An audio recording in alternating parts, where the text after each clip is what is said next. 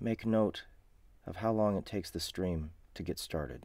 I think it started. So, hi, everybody. This is Soundbooth Theater Live. Sorry if that was a little abrasive. I'm just rushing to get ready, as always. God, I've got to find out a system that'll give me some time to breathe and chill before I get started here. You, what do you guys think? Should I bring back the intro thing? I think I wanted to. I was gonna bring it back this week, and I just totally forgot about it until literally like ten seconds ago.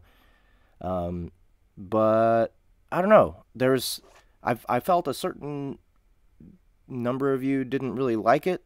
Didn't really like having that intro.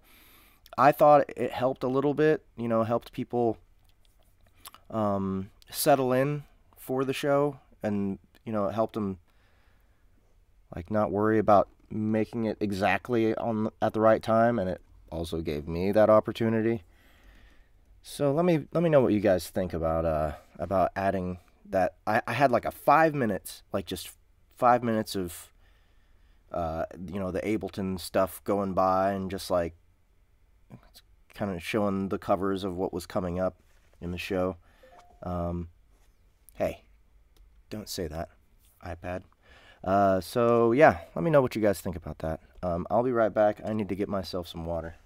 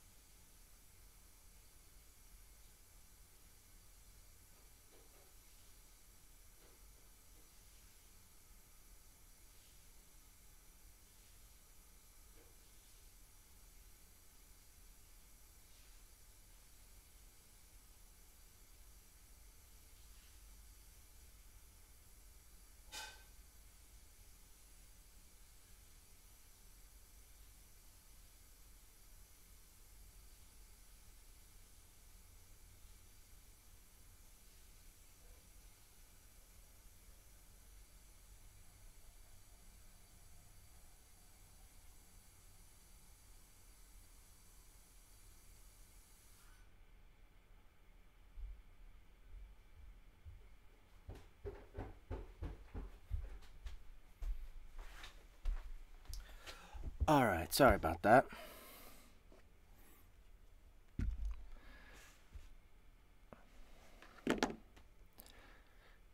Audio. Oh, hey, what's up? Paul Stokes is here, looks like. Two minutes instead of five. Maybe that's better.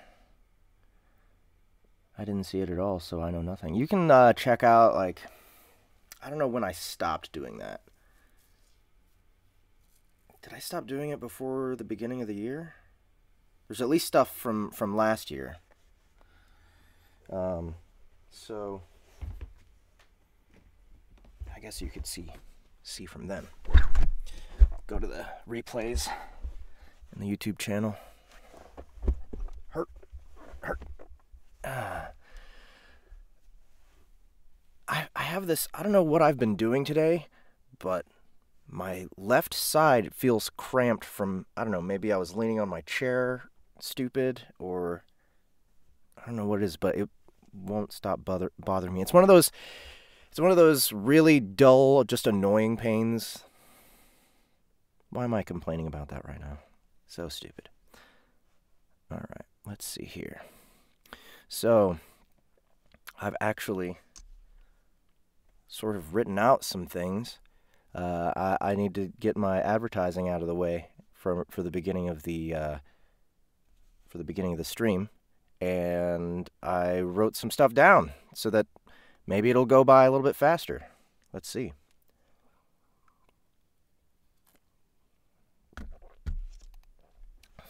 I think even I think even the word ache is is dramatic for what it is. It's more like a I don't know what to call it. I'm I'm really I'm really uh, complaining about nothing. That's what I'm doing. Um, you did you there was no you, you didn't miss a beginning. You you missed me going to get water.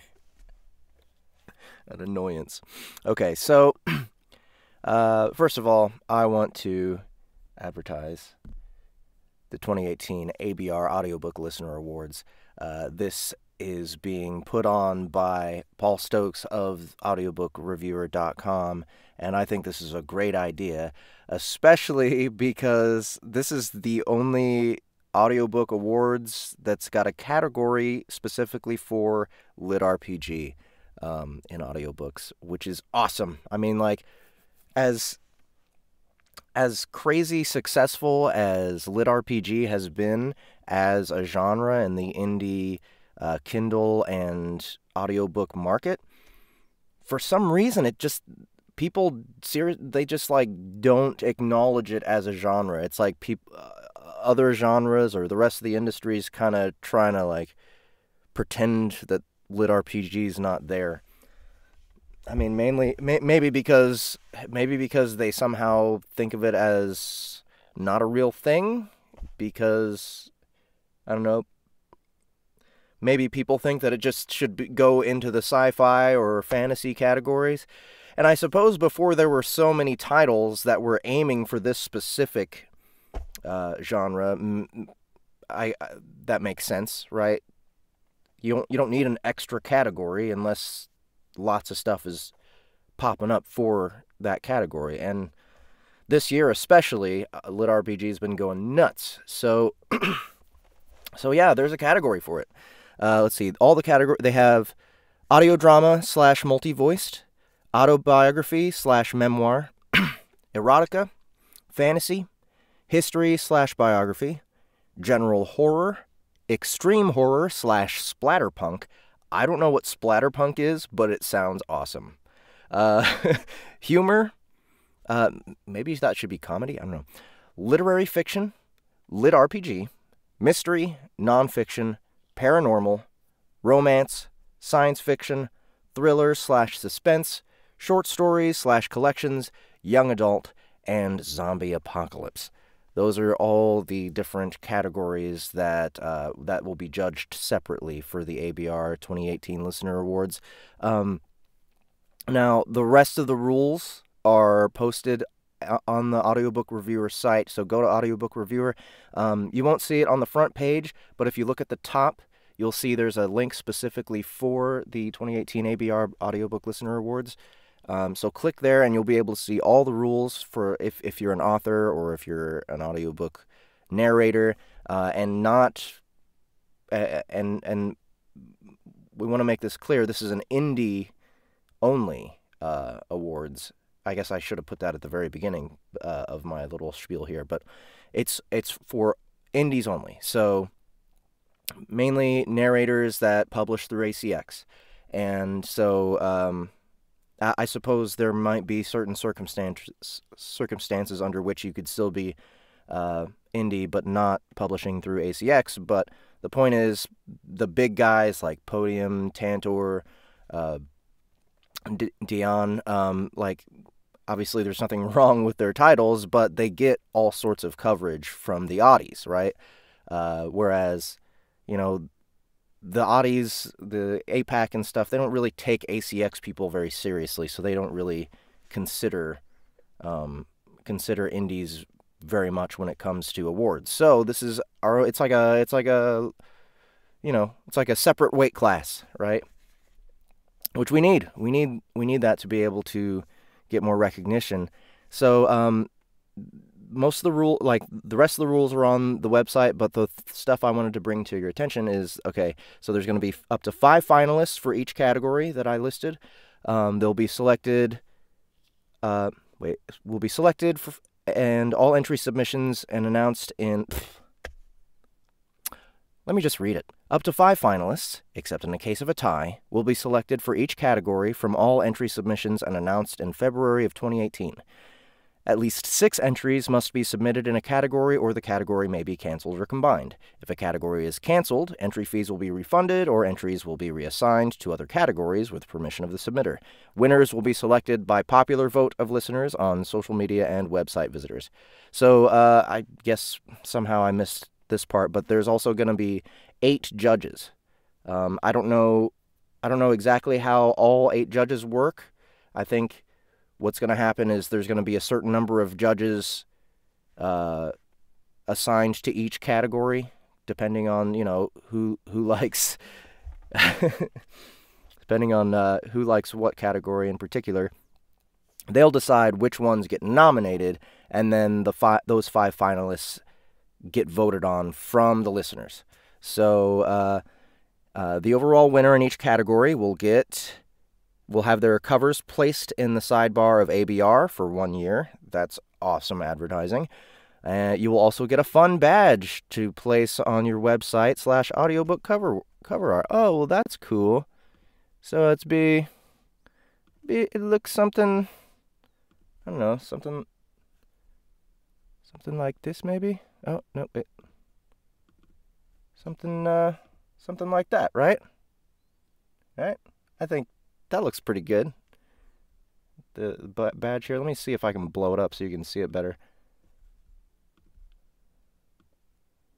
Beep. Um, yeah, so we get to put that on our cover. It looks fancy and nice, and uh, we can stick that on the on the blurb, right? Um, that won the award.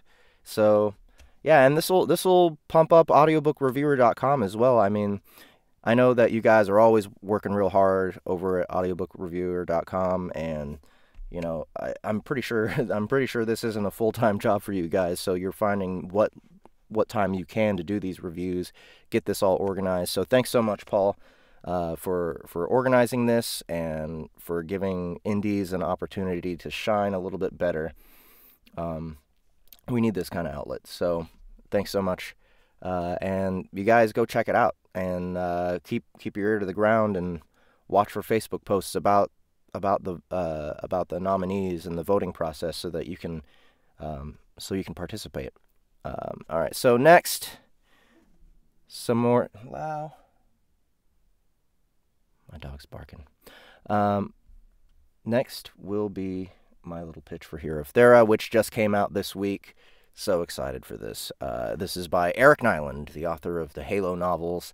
If you haven't read those, um, it they all get really high reviews on uh, on the Kindle market. Um, so it's kind of it's kind of natural that he would he would be the kind of person to progress to lit RPG because he actually works in the video game industry, helping write for them. I mean, I think he helped write for the um, for for the Halo series for Gears of War. I don't know if he like actually did typing, but he was consulted, you know, for streamlining and, and making making it a, more of a making them more viable actual stories. So, uh, so he's do, do, dove in, divin, he dived. He jumped into the lit RPG market with Hero of Thera, and I gotta say, this book, in my opinion, is the epitome of lit RPG. It's it's got all that nostalgia, right? It's got a great system for the game, but it's also got a fresh take because it's not also it's also not really a VR game. It's more of like uh, I don't know, like it's it's hard to explain. You ha- you have to check it out because the stakes are high. It's hardcore mode, hardcore. Like you die in the in the game, you die. so uh, definitely check out Hero of Thera. I actually had to develop a whole new narration voice for for the character of Hector, and as I was recording, I couldn't actually get a full day's recording in because I, I mean I could only do like 10% of the book at a time like each day because my voice would just blow out going this low keeping keep, keeping this voice consistent was extremely difficult for me so um, this this was a, a, a, total victory for me however I mean it, it it really slowed down production but I was able I was able to do it and now I'm more used to it it it is it is physically stressful. At least if it's not your your natural voice. So, um, it took me a while. I, I actually I actually got sores. I actually got sores in the back, like right in the back of my throat, where it, it was where uh, my throat was vibrating the most, where I was getting that particular sound. I actually had like a canker sore back there after a while. Um, so it, it was uh, it was, but it was a good experience, and and now you know I'm more used to it. I'm I'm down for the sequel. I can use that character's voice in you know as different characters now in in some of the books. So uh, yeah, I, I'm I'm happy it's out. Go check it out, guys. It's already it's already pretty much blown up um, in a throat callus. Yeah, uh, it's it's already blown up on the Audible store. Um, people are rating it, not reviewing it yet, but I'm sure Eric's liking the numbers he's seeing so far. So, Hero of Thera out now. Go buy. Also, go buy Everrealm. Or if you want, uh, if you want a free audiobook, if you're in the Twitch chat, you can request a free audiobook. I'm giving those away today. So, um, I did gain a level in the Hector voice. I'm going to call it the Hector voice. Actually, now that I'm talking about that again, I'm just going to switch it right back.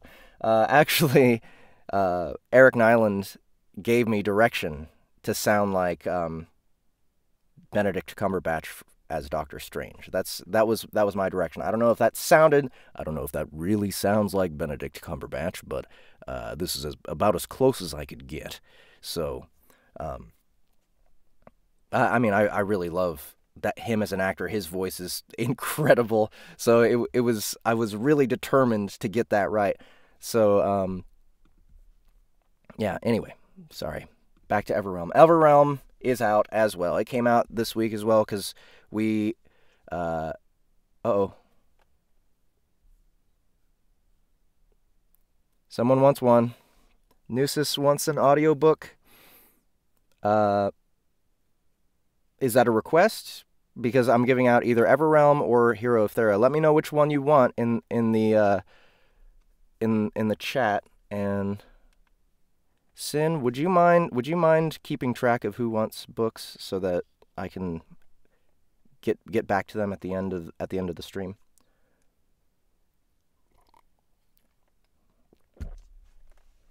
Everrealm. Okay, Everrealm by Jake Bible. Um, I am uh, I'm so excited for this one to have come out. And mainly because I really like Jake Bible's work. Uh, he he's he's fast paced, uh, succinct, but still very descriptive, still very evocative. His characters are great. His his his dialogue is really fun. You know, you you get this nice back and forth, and everyone's got a very distinct flavor. So it was extremely natural and easy for me to record this book. Um, actually, this is like one of the first books I've done in a long time where it was first person and I just used my natural voice. I've been I've been doing like it's so much so much of a contrast between this and Hero of Thera uh, because for Hero of Thera, I had to go so much out of my comfort zone. For Everrealm, it was completely within my comfort zone, and I just I was able to crank it out just like that. Um, it's very very funny. The characters and dialogue are solid. It, you know what the the story actually reminds me of? The Princess Bride meets like Monty Python and the Holy Grail in a in an epic zombie MMO apocalypse. It's it's really fun. However, one problem it has, and I for me it wasn't a problem. I mean, I this is one of those books that I read it all the way through before saying, yes, I'm taking this job. And you know what? I even saw the reviews for it before I accepted the job and I still took it because because I I really like it. I, I don't I don't get the hate. I mean, I kind of get it.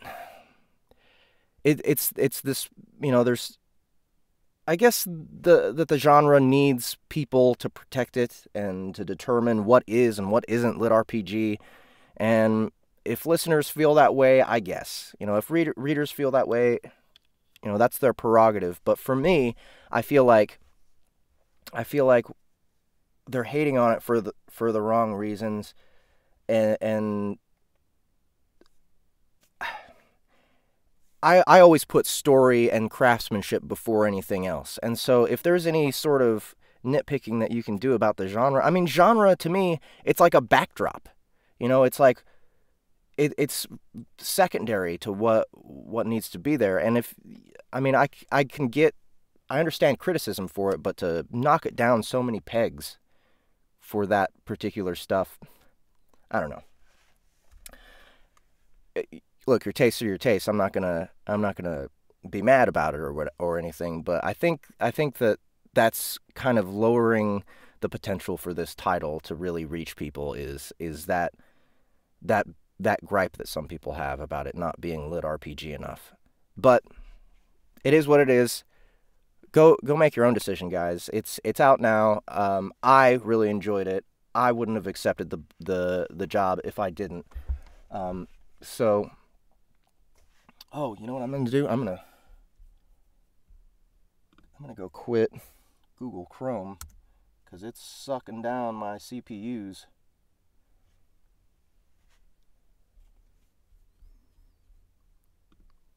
Oops. Oh no. That got rid of my that got rid of my Twitch chat. I'll be right back, guys.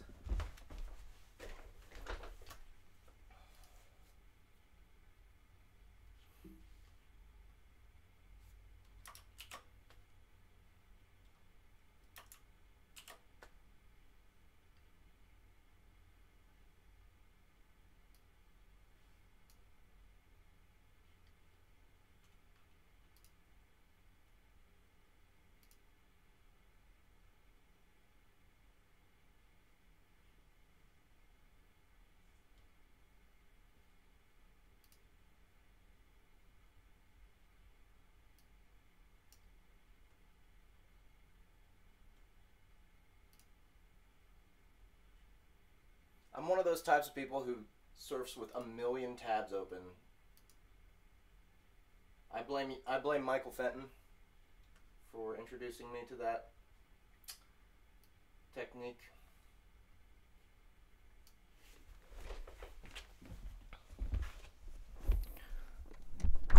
All right. Sorry about that.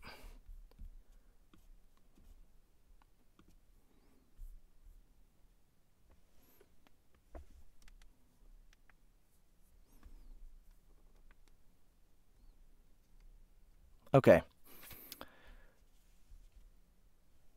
Yeah, I know. All, all tabs are 100% necessary. Okay, and now I have one last pitch. Sorry, guys. This is taking so long. But Challenge Unbound Deathlord Book 1 will be coming out very soon. I, I believe August 15th. Uh, it's by Edward Castle, who I think this is his only book. He's a, what's really interesting about it is he's a um, he's he's a Brazilian guy, and he wrote it in English, and he still did a, a really great job with it. Uh, there there was there were some typo issues that I had to deal with while while reading it, but it wasn't too big of a deal. I was able to get it done. This is actually the longest audiobook I've ever recorded, and it was for Podium Publishing. Thanks Podium for for uh, picking me for this this job. Um, I, I think you guys are, are really gonna like it. It's it's funny, it's epic, lots of stats, interesting idea, um, uh, interesting motivations from the char- from the character. There's mystery to figure out about him. Um, so and I believe it's one of those titles that's been around for a while that people always reference. Um, from the Lit RPG group. So, um, yeah, I, I, I think you guys will really like this one. Um, it's out for pre-order already, and it's actually climbing up my my front page. If you go to Audible and search my name and then click my name, uh, it it shows things in in order of relevance, as in you know what's getting bought up right now, and this in pre-order form. It's like in the middle of my first page already. So, um, go check it out, guys. It's uh, it it's ready ready for your purchase. Um, and like I said, out August 15th. Um, now, there is a sequel that is supposed to be coming out, but Edward is still working on it. You know, I suppose he's a he's a perfectionist type of person, um, which which is a good thing for for listeners and and readers.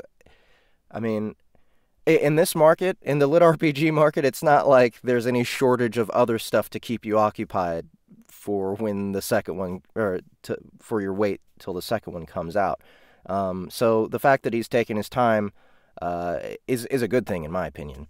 But uh, it's not sure when it's going to be out. But Podium will let me know, and I'll I'll be able to schedule it when when that's possible. Um, but yes, I, I recorded this quite a while ago, so I'm really excited to see it get back, uh, get onto the Audible market finally. And the new cover is awesome. Uh, really cool. So that is all of my pitching for today. Now, it is requests only time. Um, let me look at let me look at the uh, the poll, see how it has done since I started this. Okay. All right, so it's official. We got a three way tie at the bottom. But we're definitely reading How to Avoid Death on a Daily Basis by V. Moody. Uh, the Fiasco in News by Stephan Morse. Actually, wow, that one really shot up there uh, in the small amount of time it was on the poll. Um, and looks like I got I got my choice um, between Office Wars Gameframe Online, and The Path of Transcendence.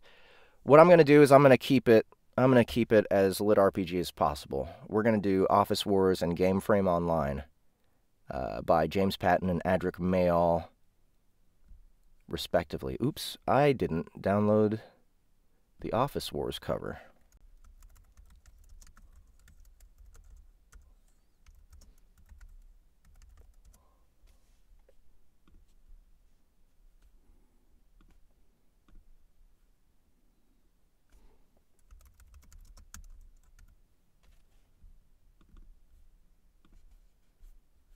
So here goes. I'm putting it in.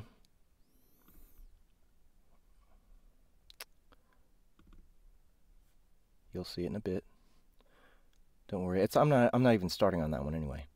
Okay, so for our first uh our first read, we will be doing How to Avoid Death on a daily basis. Now, I found I found this book a long time ago. Um, probably at least six months ago.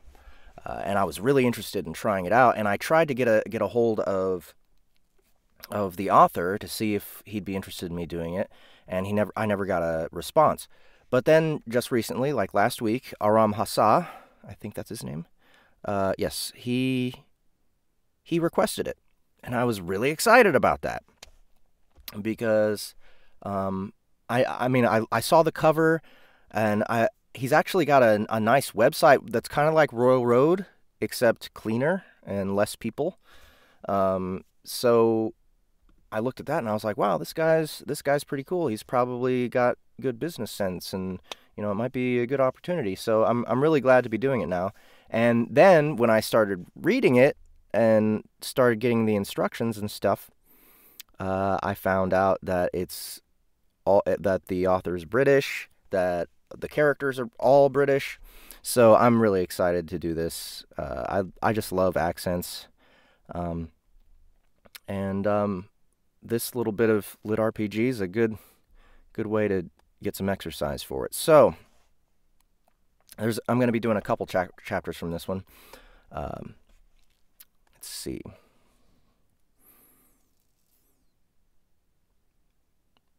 All right, so I'm gonna.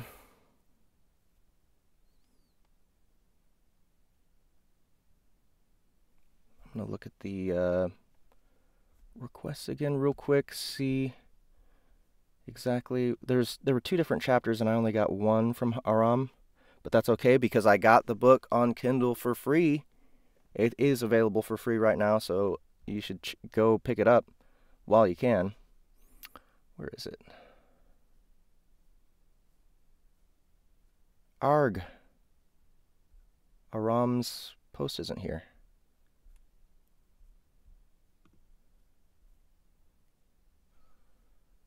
Okay. Uh, I don't remember what. I don't remember what the other chapter was, but I'm gonna do the V. Okay, I'm gonna do this chapter first. Scene: The characters are traveling towards the city of Dargo, after making their grand escape from another city, which is being besieged by a monster army. Army. They find a huge army of lizard men crossing the path to Dargo, so they decide to camp in a nearby forest while waiting for them to pass. Late at night, one of the characters comes running back to the camp screaming zombie. Chapter start. Alright, characters in order of appearance. Colin, the MC, all thoughts are his. First person thoughts are smartass, otherwise, he's a pessimistic and manip- manipulative, manipulative coward. Um, Maurice, black Batman nerd, likes to nitpick and act as an investigator. Claire, skinny, big nosed girl with a high pitched voice, gets angry fast. Flossie, a plump, nervous girl with a heavy Brummy accent. Okay, Brummy accent. So, I I did this much studying on the, on the Birmingham accent, um, Birmingham Birmingham accent, and it's very difficult.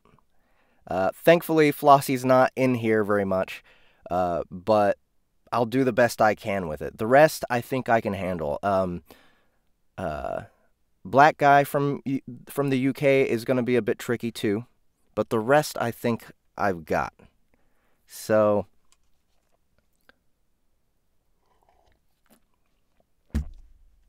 Let's get to this. Thank you, V Moody, for letting me read this on my show, by the way. I hope you, you are here and I hope you will enjoy.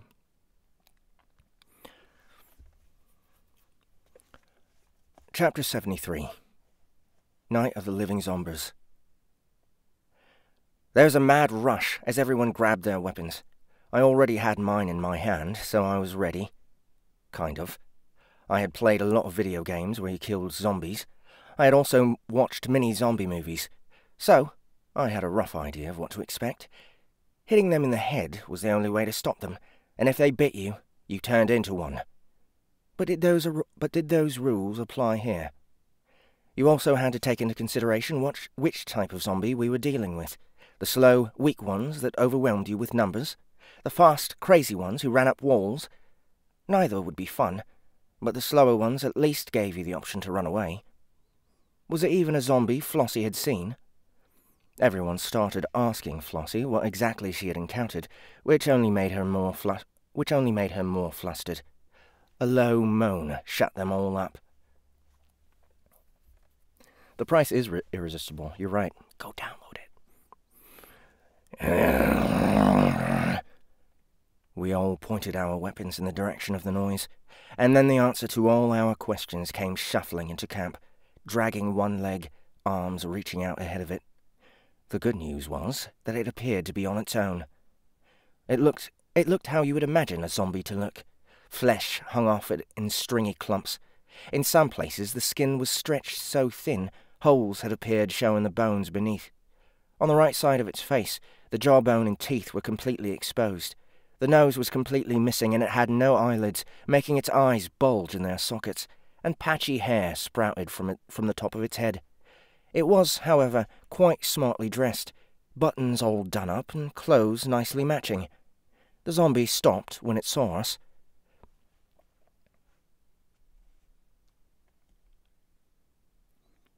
The one stopped. The zombie stopped when it saw us and looked around, awkwardly moving its neck from side to side. Oh, he said, in a slightly high pitched voice. I do apologise. I didn't realise there was anyone here. I don't want to intrude. I'll see myself out. He started to turn around, one degree at a time, like a tanker turning at sea. Wait, I said. Aren't you a zombie?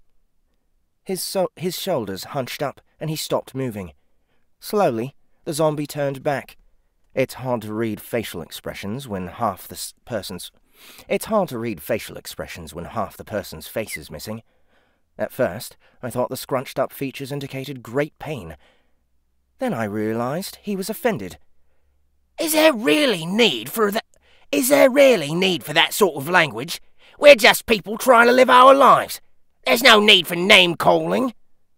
So, you aren't undead? The zombie's body went limp, and his arms fell to his side. Ugh, of course not. What does that even mean? Undead? It's not even a real word. How can you undead anything? It makes no sense. Well, said Maurice, theoretically, um, damn, uh, let's see. Theoretically, a necromancer can. The zombie raised. The zombie raised a hand. Please keep your racist theories to yourself. Yes, I have a skin condition that makes me look a little different, but in here, he tapped his chest with a bony finger, and I mean very bony. Beats a heart just like yours. I would have found it easier to believe him if every tap on his chest hadn't produced a hollow thud like the slamming of a coffin lid. The way he was going on about his skin condition, you'd think he was talking about a... You'd think he was talking... You'd think he was talking about a little eczema. This disease. Is it contagious? I asked. You people, he said with great disdain. No, you're perfectly safe. It's called zombidermis.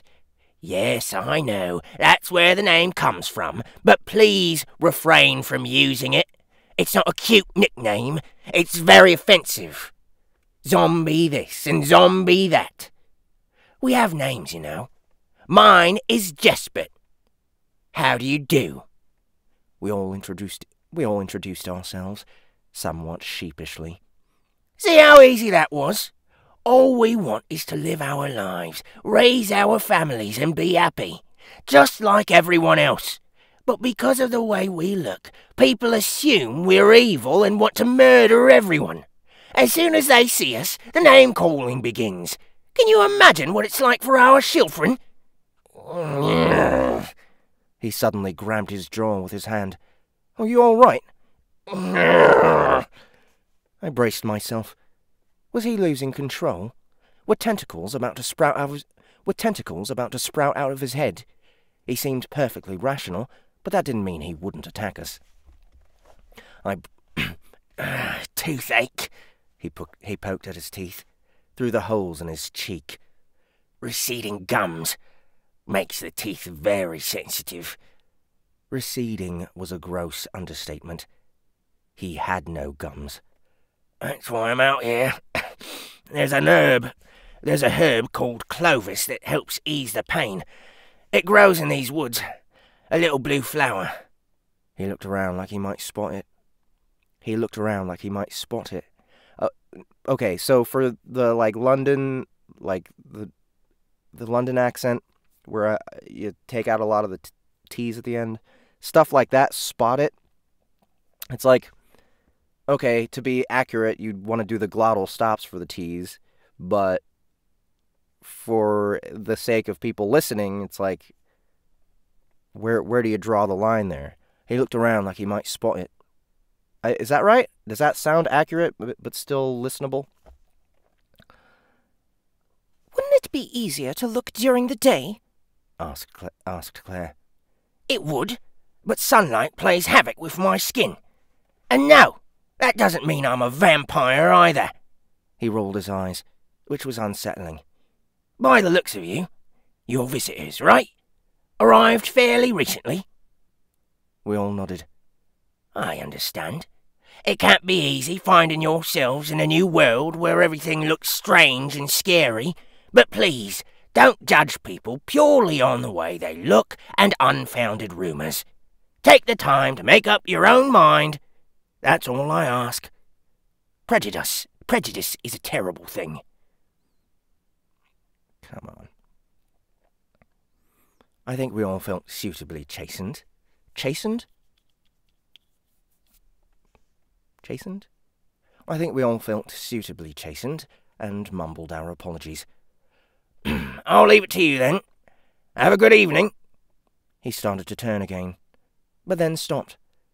By the way, you do know it's quite dangerous round here at the moment, don't you?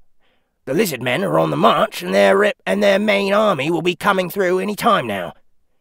Their main army? I said. You mean that procession on the main road? Oh no, that's just the advance party. Once the main army get it, once the main army gets here, this whole place will be crawling with them. You don't want to be here when that happens. Horrible creatures, lizard men. Completely untrustworthy. Always fighting for no reason. The females get pregnant before they can even stand upright, and their food smells awful. I've been saying for years they shouldn't just defend the border with Monsterland, they should build a wall, but no one listens. I'll tell you, the, the only good lizard man is a dead lizard man. You know, said Claire, in a tone that made me want to swiftly walk away. Hold on, let me try that again. I need to do a good SJW, you know. you know, said Claire. Uh, you know, said Claire, in a tone that made me want to swiftly walk away. For someone who talks a lot about not judging people on the way they look, you sound a little bit prejudiced yourself. Jasper seemed taken aback. Me? You mean about lizard men? Oh no, that's totally different. They aren't people, they're monsters. You can't treat them as equals. They'll eat you. He'd become much more animated once he started to talk about his views on lizard men, and it didn't stop there. I'll tell you who you should really watch out for. Mermaids. Oh, those bastards.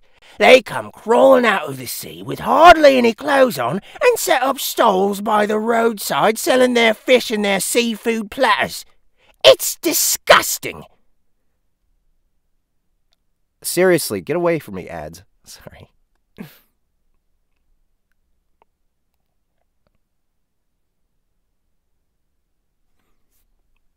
That doesn't sound so bad, said, said Maurice. It's taking jobs away from honest fishermen. The land should be for people with legs, shouldn't it? They should go back to where they came from. And the fishermen should stay out of the sea? I asked. Well, no. They have to make a living, obviously. But it's the principle. It was hard to tell exactly which principle he was talking about. One minute he was all love and peace and don't judge a book by its cover, and the next he wanted to kill everything that annoyed him. A liberal racist, but fiscally conservative. In our world he would have made a fine politician. Other than that, he seemed quite nice. Ooh, ooh, said Flossie. Her fidgeting had been steadily increasing over the last few seconds. I want to see a mermaid. Fortunately, that isn't possible, said Jasper. We're too far from the sea here, and they don't travel well. Or so I've heard. I'm happy to say I'm happy to say I've never encountered one myself. Hold on, said Claire.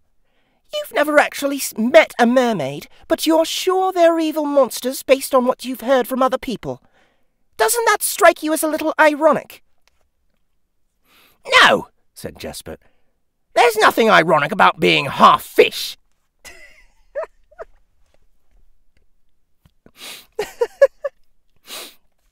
That doesn't even make sense. Claire was about to lose it. Jasper seemed unaware of the danger he was in. You should head for Dargo. You'll probably be safe there. That's where we were headed, I said. But the lizard men are blocking the way. We were hoping to cross the road once they passed by, but it sounds like that won't be for a while. Oh, you can't use the road? You could use the tunnels, though. It takes a little longer, but much less dangerous for the most part. There are tunnels, I said. To Dargo? Well, not all the way, but they'll get you past the lizard men. Anyway, enjoy the rest of your evening. He started to turn again, hand clamped against his jaw. Um, said Flossie. is this what you were looking for? She pulled a small blue flower out of her hair and held it out. Oh, Clovis! A smile cracked his face. A smile cracked his face wide open. Yes, that is how I meant it. Thank you. Jasper took the flower from his flower in his skeleton. Jasper took the flower in his skeletal, partly decomposed hand and popped it into his mouth. He rubbed his jaw, then stretched. Ah, that's better. Suddenly, he was able to move a lot more freely and his whole body seemed to relax. Okay, grab your stuff and follow me. As a sign of my gratitude, I'll show you the tunnels. Behave yourselves, and we and I may even treat you to a home-cooked meal. And no, you won't be on the menu. I don't eat meat. It's terrible for the complexion. I suppose you're all carnivores, he said with a he said with quite some disgust. I can see it's going to take you a little while to pack everything up. So let me take this opportunity to tell you the advantages of a raw food diet.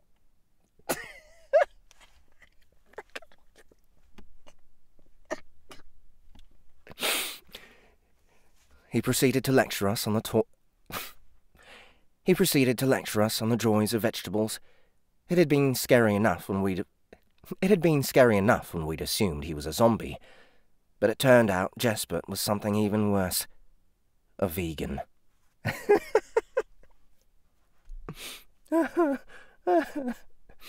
Alright, that's so good. Alright, so that was one chapter of How to Avoid Death on a Daily Basis.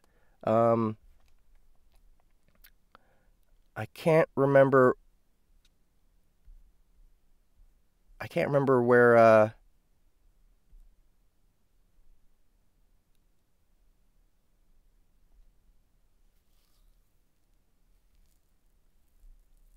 I, I can't remember where um oh hey V Moody's here. What's up man? I hope I hope uh, I did that well. Hey, I'm I'm gonna ask you real quick because it didn't show up in the requests, but um, there's there's like a weed smoking scene or something that that Aram requested, and I'm wondering if you know which chapter it is. Oh, what? Hold on. I guess I was reading something from a different book. Uh, yeah, I, I okay. So that what I just read wasn't even from the first book. I think that was from maybe book two or something because it says it's chapter 70. 70 something? 73? Yeah, it said chapter 73. So uh, all I have is the first book. So I wouldn't even have. So never. I, I, I guess.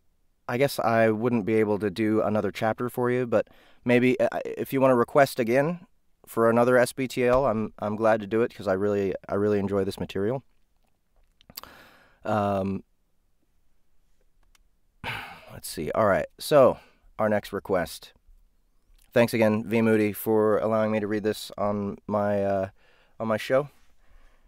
And next, we'll be doing the fiasco in news by Stephan Morse. I believe Stephan is here with us now. What's up, Stephan? Now I have I actually read a little bit of this on a requests only a long time ago when it was still not a finished book. Uh, yeah, it would have been chapter 64 for how to avoid death. But I don't have that, so never mind. Um, so let me see. Stephan Morse, here we go. So uh, yeah, I, I, I, think it was from the first chapter that Stephan uh, had me read from a long time ago. so now we're going to dig a little deeper.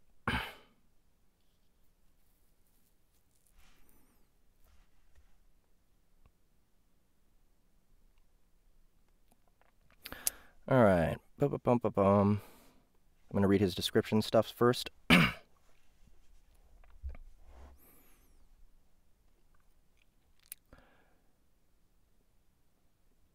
okay.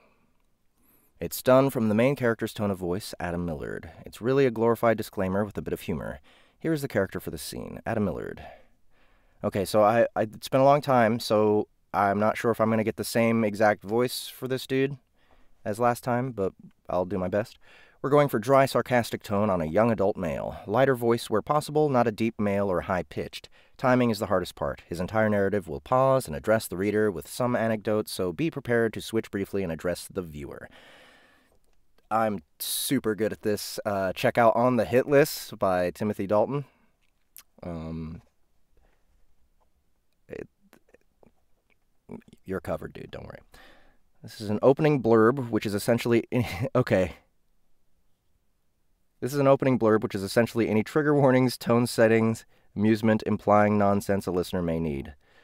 The Fiasco News is full of sarcasm, superpowers, and over the top characters, but some people may need to be reminded that it's an adult war- world. Before we get started, there's a few things to point out. This is the first of a three part tale. It's mostly told in order. At times, I'll step out and tell you about other parts of my life, but they'll be brief, I swear. Oh, wait. Okay, so this is actually the character talking here. Okay, before we get started, there's a few things to point out. This is the first of a three part tale. It's mostly told in order. At times, I'll step out and tell you about other parts of my life, but they'll be brief, I swear. For example, I might reference something like the time I was possessed by two demons. Eventually, four battle nuns, which is not at all as hot as it sounds, strung me up and exorcised the demons. That is not innuendo. It was disgusting. It's worth noting that I curse in thought and deed. Other people do it too. This is an adult world, and my life is kind of fucked up. Cussing, such as the word fuck, gives me a proper outlet that the word fudge simply doesn't measure up to. It's also worth noting that I notice how ladies are endowed. I'm 21, and at the start of these events, I still hadn't had a girlfriend. Plus, Noticing ladies wearing spandex is extremely difficult to avoid. If you don't believe me, you're lying or dead inside. It's also worth noting that some events happen to me that don't directly relate to the others. We'll wander a bit, because my life doesn't follow a sane timeline. My life is a constant crash from one crazy event into the next. It's my curse, you see. I attract all sorts of power fueled events. Some events involve imaginary creatures created by the human subconscious, which can be twisted. Some events involve people trying to handle curses like mine, which is also messed up. In fancy terms, this is a journey of self discovery, being chased by a woman, and deluded hope. But we'll start with Ted. Everything that happened occurred because of him and his offer. And we'll end with Alice. Everything ended because of Alice. I'm fairly sure I've gone barking mad. So, viewer beware. You'll have to be kind of crazy to keep up. All right. That that was a cool. That's a cool little thing.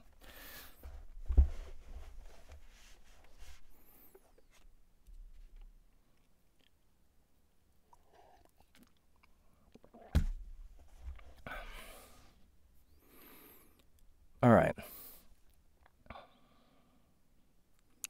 Ted Rose, Telegraph. Ted is hard to pin down. His biggest gimmick is switching accents almost randomly. Imagine Robin Williams doing early stand up. Oh my god, this is going to be so fun.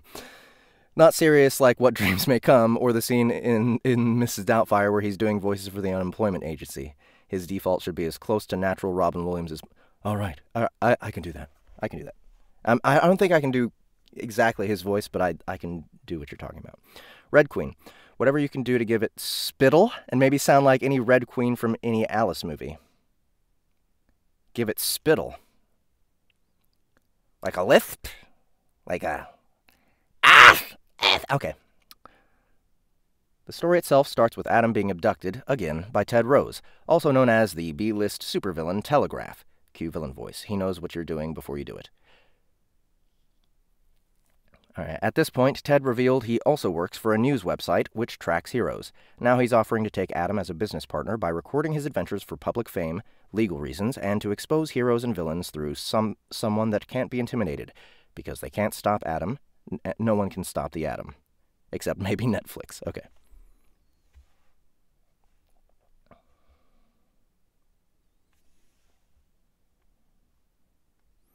Who, who are we starting off with here? All right, so this is Ted. Starts with Ted.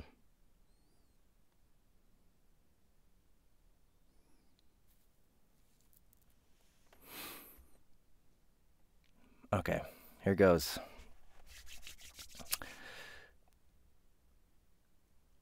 If you're serious about this, find my lawyer, Jade Hartland. Sort out the sort out the paperwork and leave a contact number. When I'm in New York next, I'll call to arrange something. I can probably fit you in between the the next what? The next giant bug attack and a possessed. Let me. Hmm.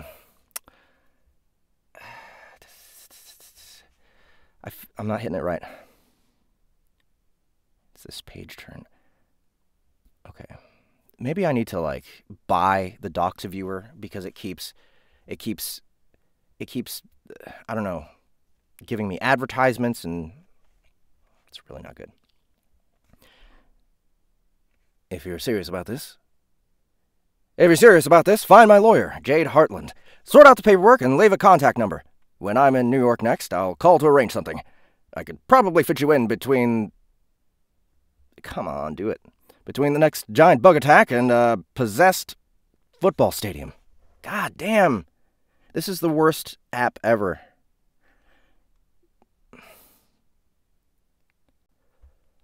New York, or at least some part of the state, was a frequent stop in my life.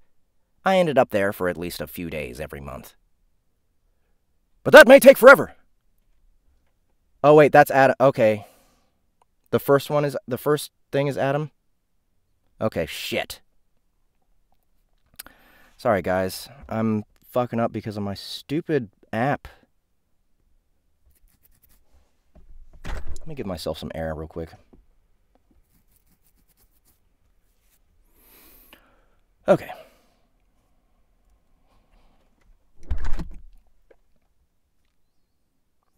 If you're serious about this, find my lawyer, Jade Hartland. Sort out the paperwork and leave a contact number. When I'm in New York next, I'll call to arrange something. I can probably fit you in between the next giant bug attack and a possessed football stadium.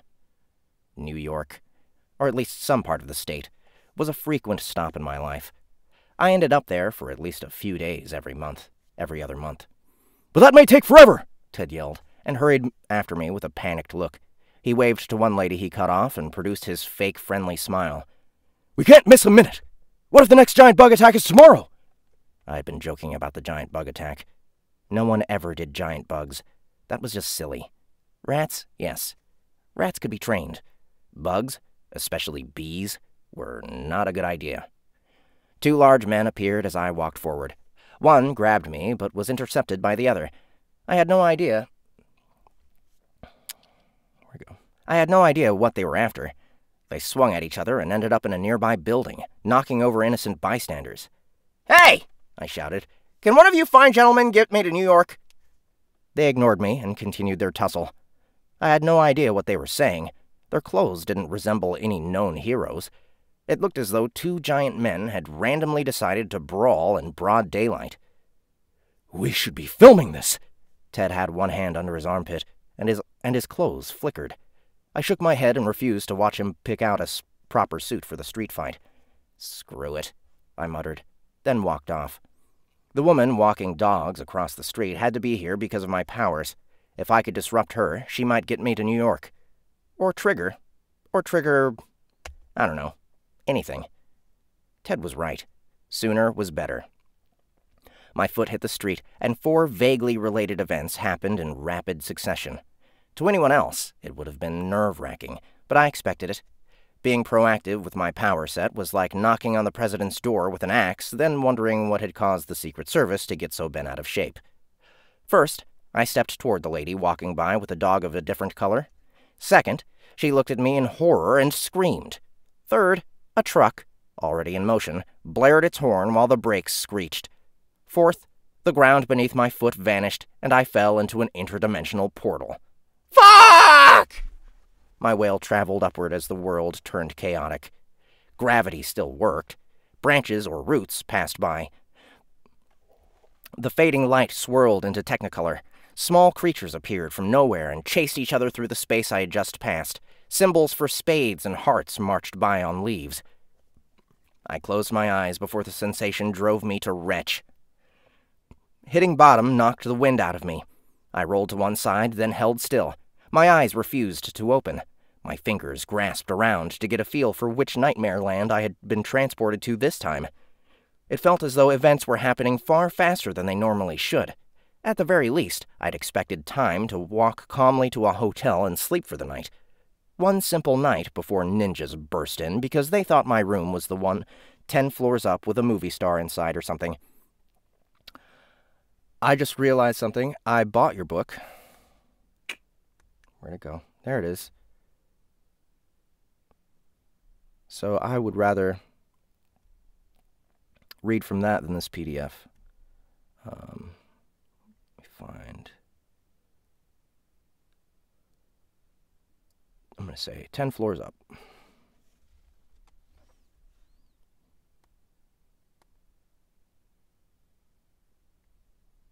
Not green. What?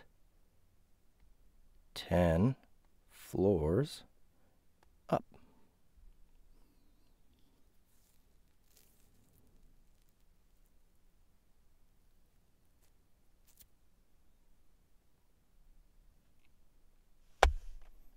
And it and it's taken forever to, to search for it. Why? How about 10 floors? Is that good? Can you just do 10 floors? Yeah, all right, cool. Now I will look at the last line. I really have to figure out what uh, what I can do about this app. Maybe I need to buy a new one. Melt faces. Okay. I got it. I got it. Dirt lined the floor. Long rope like strands hung to one side and rustled as I grabbed them. Mad laughter echoed softly like a television in the next hotel room over. Please not Wonderland, please not Wonderland, please not Wonderland. My chant increased in pitch as a worse scenario occurred to me. Please not mole people, please not mole people, please not mole people. Mole people were bad because they simply didn't get it. I swore someone had sat in a basement all day, genetically altering billions of them in one go, but forgetting to add anything but a vague desire to topple the surface world. Every single one of them had been brilliant, but vaguely autistic. Were they human? I might have felt awkward for my callous observation, but mole people were biters with rabies. Wonderland often varied between insanity, hallucinogens, and murderous little girls named Alice. I only needed to avoid the Jabberwocky and never drink from the small bottles. Pastries and other dimensions were traps in general. I racked my brain for other bits of information from past encounters. Oh, right. Someone would be nearby. Let that be a warning for you. If you're teleported to a strange place, there's always someone observing. Always. Every single time. Even if it's a giant eyeball for a sun. At least two distinct nasal sounding creatures were breathing heavily nearby. Cracking my eyelids a little revealed cracking my eyelids a little revealed a soft glow. Two sets of hairy feet were close by. Please not Wonderland, please not Mole People, please God, for once, send me to a beach with bikini babes, an underground lake. My mumbling did no good. As you might imagine, when I opened my eyes to see two hairy, round, brown looking versions of the White Rabbit and what had to be the Red Queen, I went a bit crazier than normal. There were only so many events a man could remain calm through. God damn it! No! I shouted, while banging my hands on the ground. My scream echoed down the halls. The tantrum scared the white rabbit. He shuffled, or hopped, or whatever moles did, behind the second ugliest red queen I had ever seen. Ow, ow, ow, ow, another person next to me mumbled. The red queen's nose flared wide. Snot hung down with brown material that was hopefully dirt. She pointed one hand with a root shaped scepter. Adorning its tip was a half chewed turnip. Her mouth opened to proclaim our fate. Off with my head, I mumbled in time with her declaration of, Off with their heads! I held on to hope that the Alice here wasn't batshit insane, but it seemed unlikely.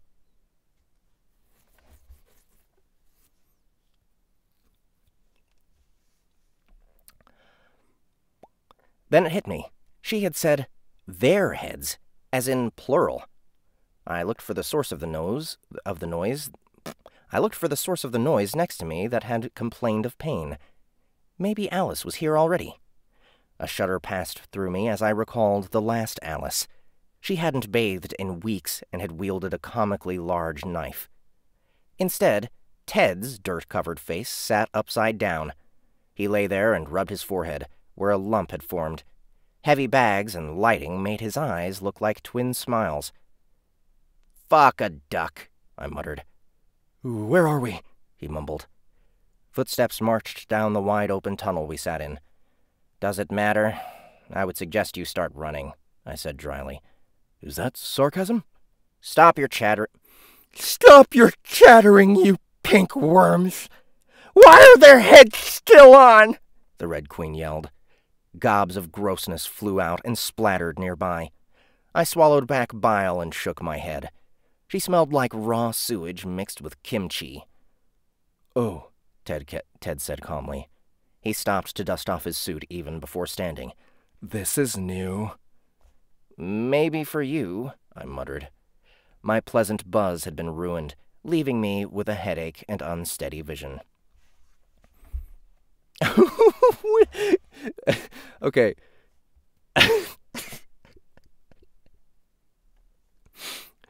uh is this is this dossier things um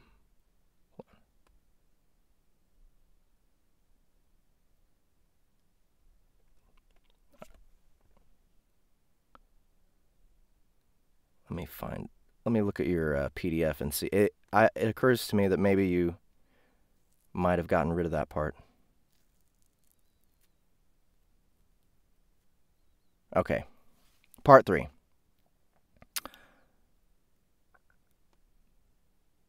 The scene, this scene is about halfway through the book. Adam has been on a few adventures already during one story, being dashed from place to place. Right now, he's arrived in New York City and was being driven off by police from a public indecency charge, which was totally not his fault. The actual po problem started with a drunken black furred unicorn eating rose bushes in another dimension.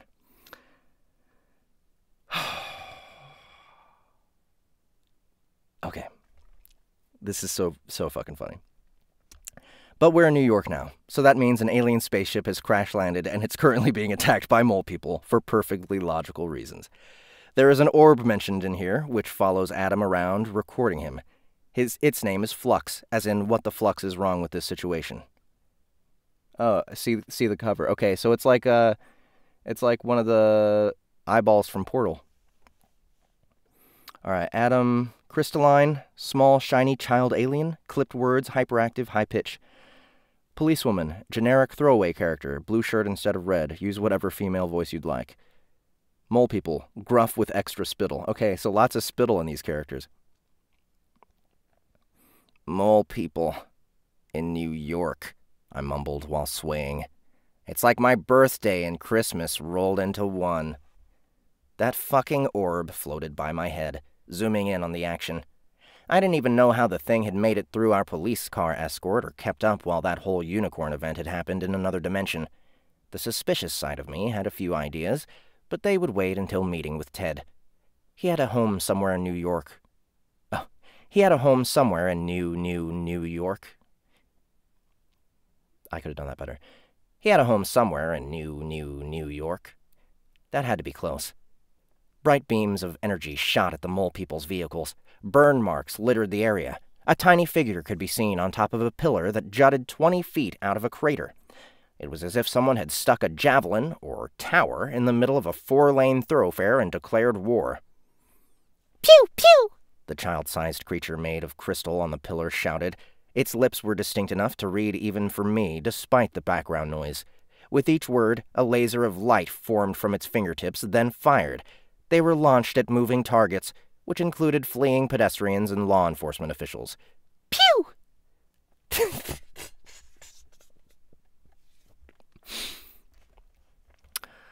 My police captors were still struggling to escape the car. The mail had roused a bit.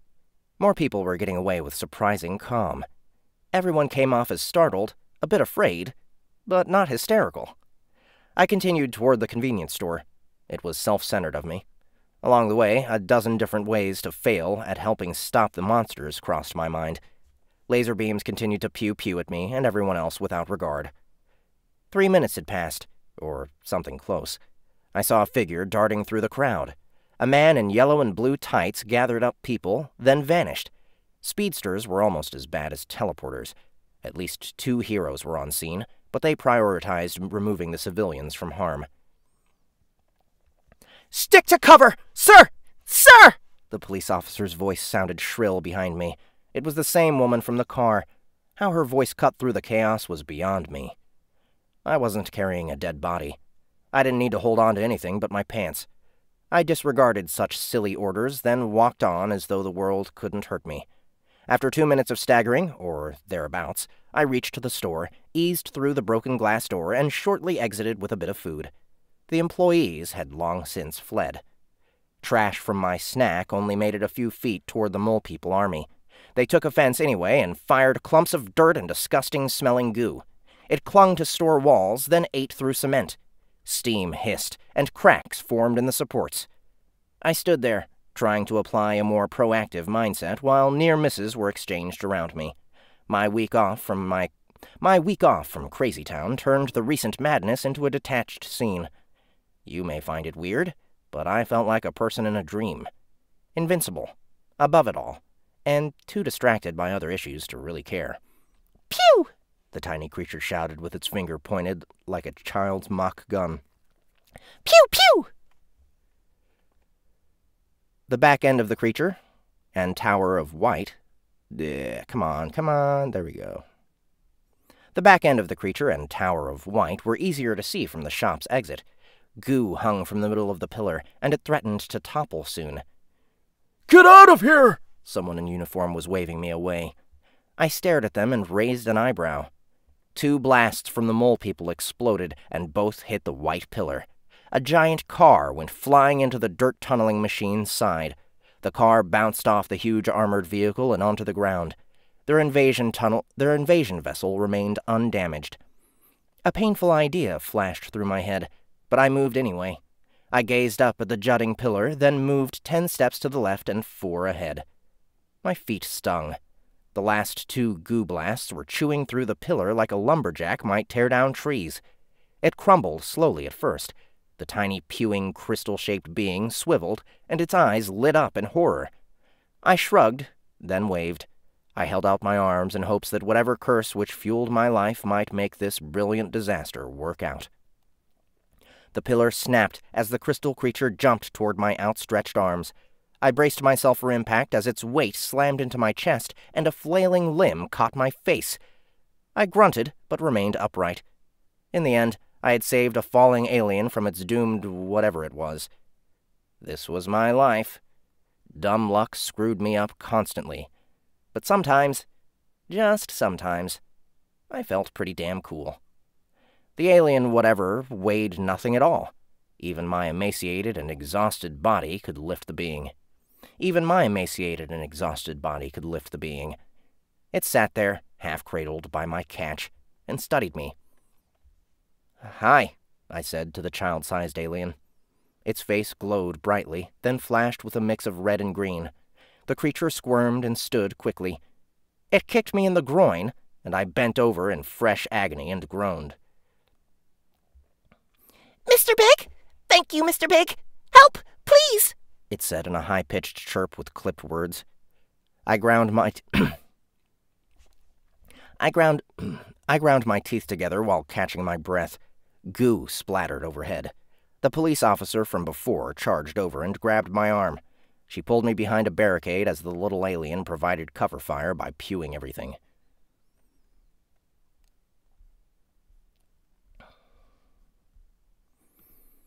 Yes, this is the same one. It was on, yeah.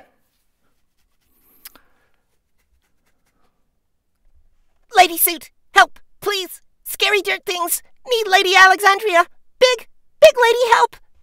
The police officer nodded, then spoke into a shoulder mounted device. I rocked and tried to get myself to a stable place. We need to find better cover, the officer said. No, don't go too far. I can't. It's safer if you're No, that's that's Adam. No, don't go too far. I can't. It's safer if you're really close. I hoped it would be. Projectiles were lethal. I hoped it would be. Projectiles were lethal, and my powers should prevent them from killing me somehow. Who are you? Adam. Adam, I groaned, and barely managed to say my name without cursing from pain. Oh yeah, I just just kicked in the nuts. Okay. No! Don't go too far. I can't. It's safer if you're really close. There we go. Adam, I groaned, and barely managed to say my name without cursing from pain. The car we were huddled behind hissed when splatters of goo flew overhead. Mr. Big, help, please. The crystal creature kept its hands together in, form, in the form of a gun. The police officer surveyed the. Come on, just zoom. Really? Really, program? Unbelievable. Sorry, guys, this is going to hurt the sound a little bit, but it's getting hot in here. The crystal creature kept its hands together in the form of a gun. The police officer surveyed the area, but kept an eye on the weird hand symbol being made. Her radio gave a loud chirp, then words came forth that were too garbled to hear over the crystal creature's constant plea for help. My eyes kept rolling. Do you have anything bigger? Like a POW? I asked without expectation. Too young to fire pow pows. Only fire pews. Mr. Big, you help. Find Lady Ain. Find Lady. Find Lady Ain. Alex. Find Lady Ain. Find Lady Alexandria. Find Lady Alex.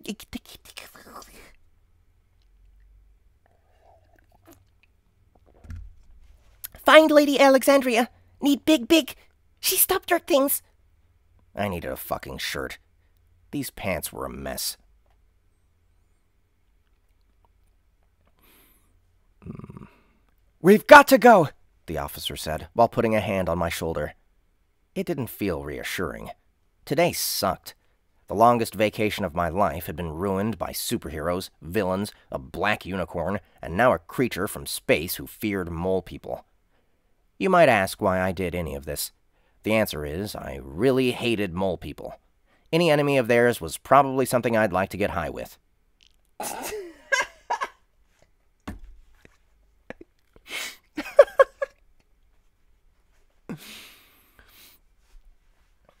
All right, well, I'm just going to leave it open then if you guys don't even notice.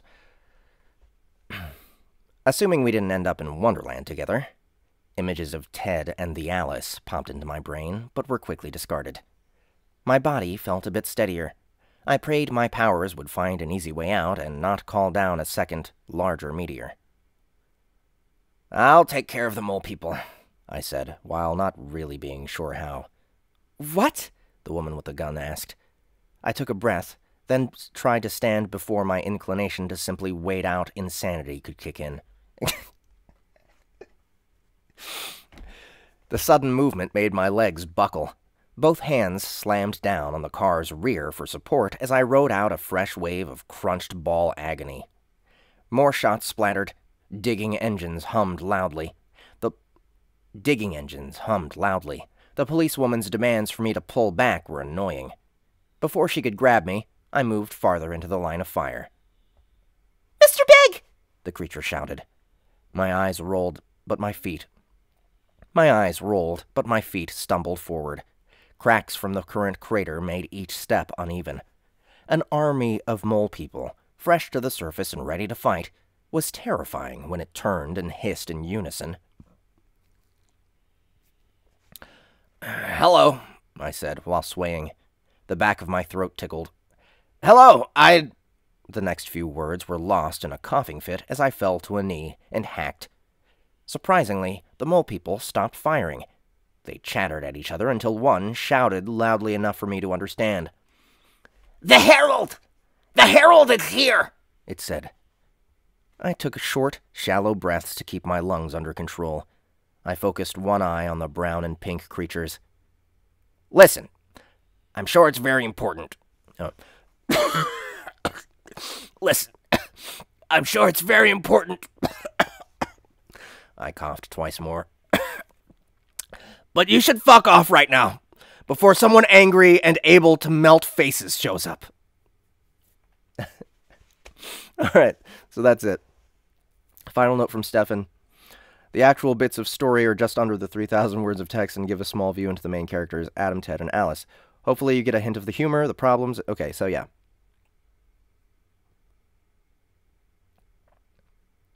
Oh. Okay, sorry. Uh, hopefully, you get a hint of the humor, the problem, and hopefully found something to laugh at in the process. I'm working to get a full blown audio version of this story done because I think it'll be awesome. If you enjoyed it, please consider purchasing the ebook or a physical copy since it helps me foot the bill on future projects and pay for the actual r- audio recording. Quality like Jeff's doesn't come cheap. Thanks for listening, and of course, thanks to you, Jeff, for reading. Thank you, Stephan, for requesting. I hope you guys enjoyed it. That's that's a lot of fun. I like doing those kinds of characters. I like uh, doing the the little bit of a faster pace. Um, actually, uh, Stephan was telling me that there were some um, some auditions he was getting that were coming in at like what was it? What do you say? Like uh, nine minutes for three thousand words. And now that I now that I've read some of it, I understand how some people could go that fast. It still would be too fast. Nine minutes for 3,000 words is still too fast, but um, I get it. I get why they would do that. So thanks again, Stephan. That was a great request. Can't wait to see some more of that one.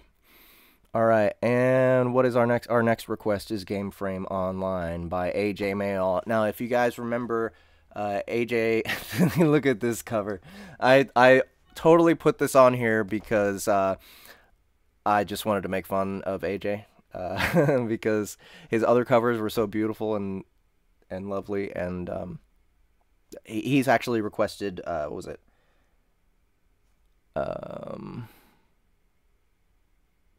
mm, is it still on my list? No. It was a it was a urban fantasy with a dude with red hair and he had like superpowers. Um damn it. Yeah, I knew I knew that you I mean, this is what Royal Road covers look like, right? But I wanted to use it anyway cuz it's funny. Um but uh what was that? The Art of Madness. The Art of Madness is what I, what I've done for him before. So he requested this one. This is a new one. This is a new lit RPG that he's writing. So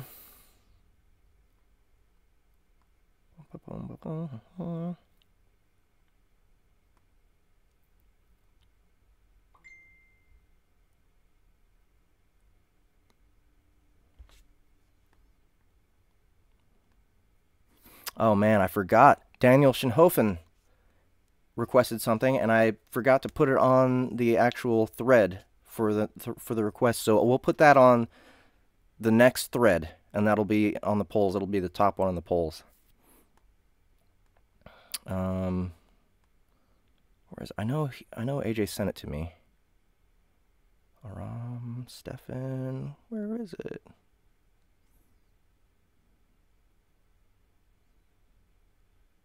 La? No, that's not it. Grace.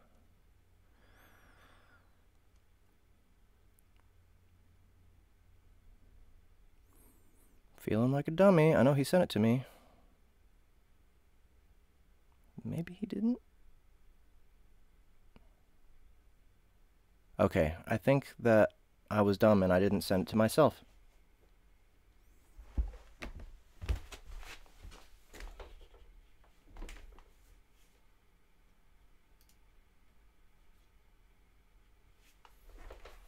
Or I should do it through here.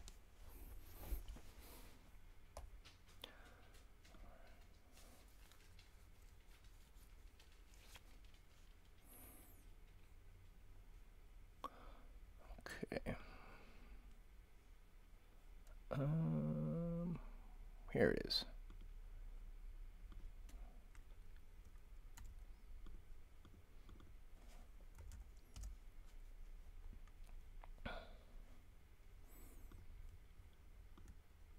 Sorry guys, this is this is me being dumb and disorganized. Come on. Please do what I say. Go. That was the wrong thing. I just saw that was the wrong thing.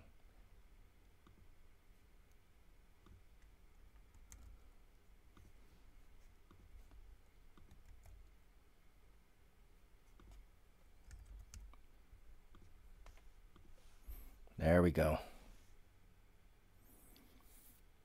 There we go. okay.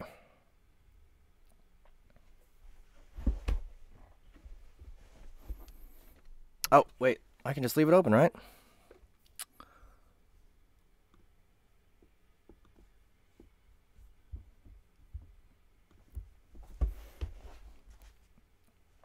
I'm going to read the blurb. Would you become uploaded data in a private beta test for the chance to win $100 million? Would it matter if your body might not even make it while you were out of it? Raphael Fuller, known as Never in the gaming world, would. The world would also be happy to be rid of him while he competes. As one of the premier achievement hunters in the world, Never has the reputation of being antisocial, abrasive, and forming alliances only for his own benefit. When Alchemy Studios, when Alchemy Studios announced a full immersion MMO, he jumped at the chance, not because of the money or recognition though. He did it because their parent company, AGI, has the medical resources he desperately needs. Never is dying and spending his last months fighting in an artificial world is better to him than spending them in hospitals. However, as he seeks out every challenge, there is a looming threat on the horizon. The King of the Void, the final boss of Al, his Eternia, is acting out of its programming matrix, and it's too late to pull the participants out. What sort of hero would be willing to rise to such a challenge? Never say never, because he could care less about your problems.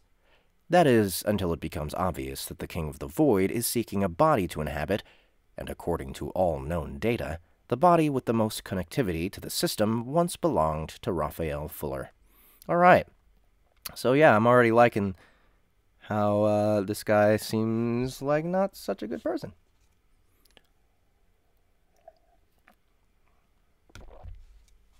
Earl is.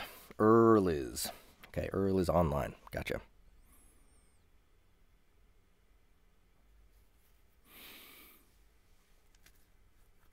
All right, so for a voice for this guy, what am I going to do here?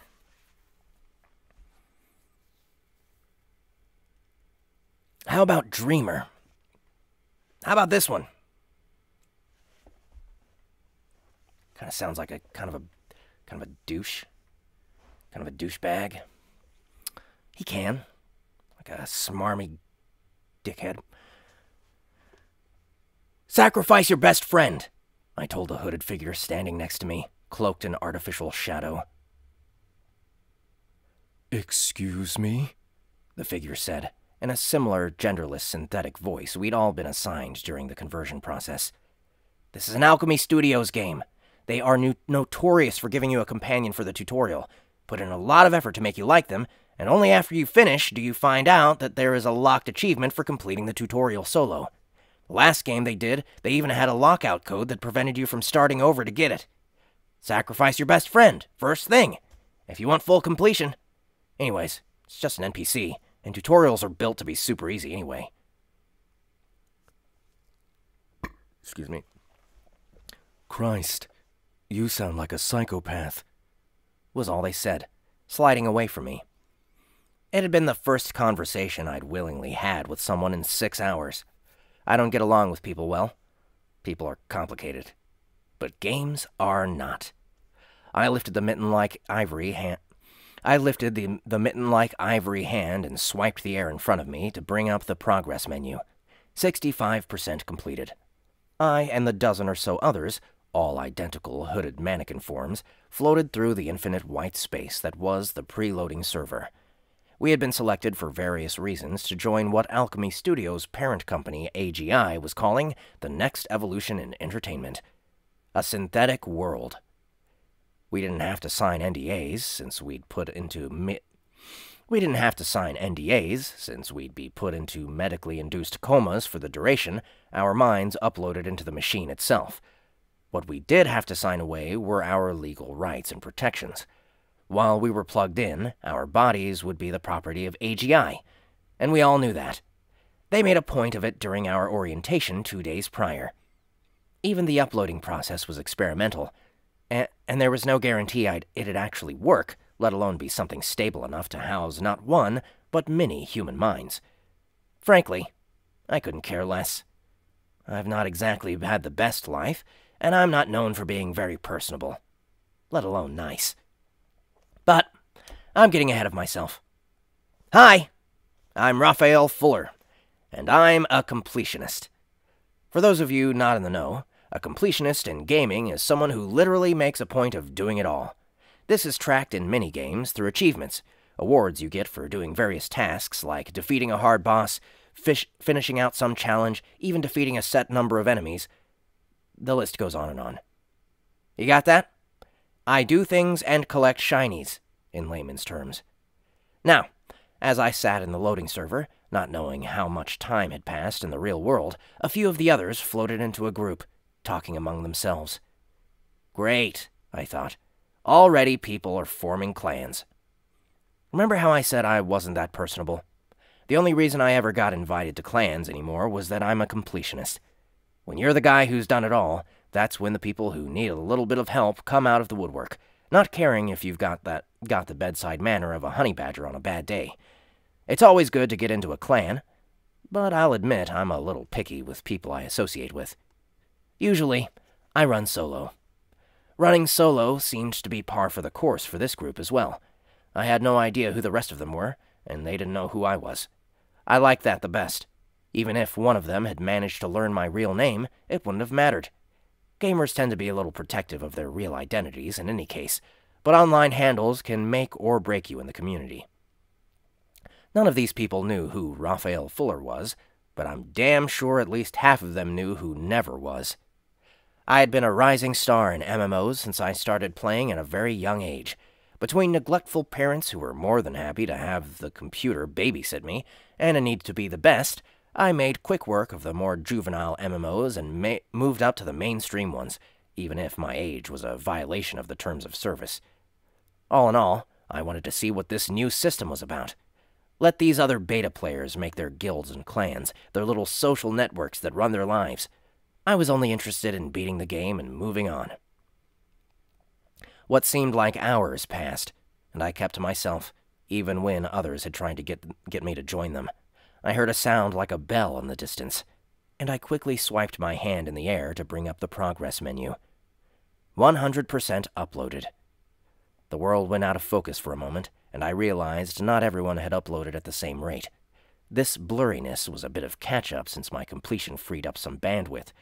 Once my vision cleared and everyone seemed to be on the level, the menu changed. Patching. 1%. There may be discomfort. The world turned upside down, and I felt like I was being liquefied and pulled inside out. It didn't hurt, but I never wanted to experiencing, experience anything like it again. Time stood still while racing at millennia a nanosecond. All of us, in our pro proto-avatars, clawed at the... Mm, clawed at the infinite white void, a chorus of similar voices screaming in confusion. Our minds were being patched like code. It felt like someone opened my head, increased its capacity, and fed it raw data. It was like a memory, but not the sort you actively remember, like how your body knows to make your heart beat or the how of remembering. I blacked out. I'm sure others did too but I was the last one up. I'm sure others did too, but I was the last one up. That's a car. When I awoke, there was a woman, maybe in her early to mid 30s, in the room with us. Considering I could see it was a woman, and not one of the mannequin bodies the rest of us had been given, my guess was an admin. My guess was an admin. She was about six feet tall, wearing a black business suit with creases so severe I thought they were simply low res polygons. Her hair was styled in an asymmetrical bob, platinum blonde hair covering her right eye. When she spoke, there was a faint Russian accent.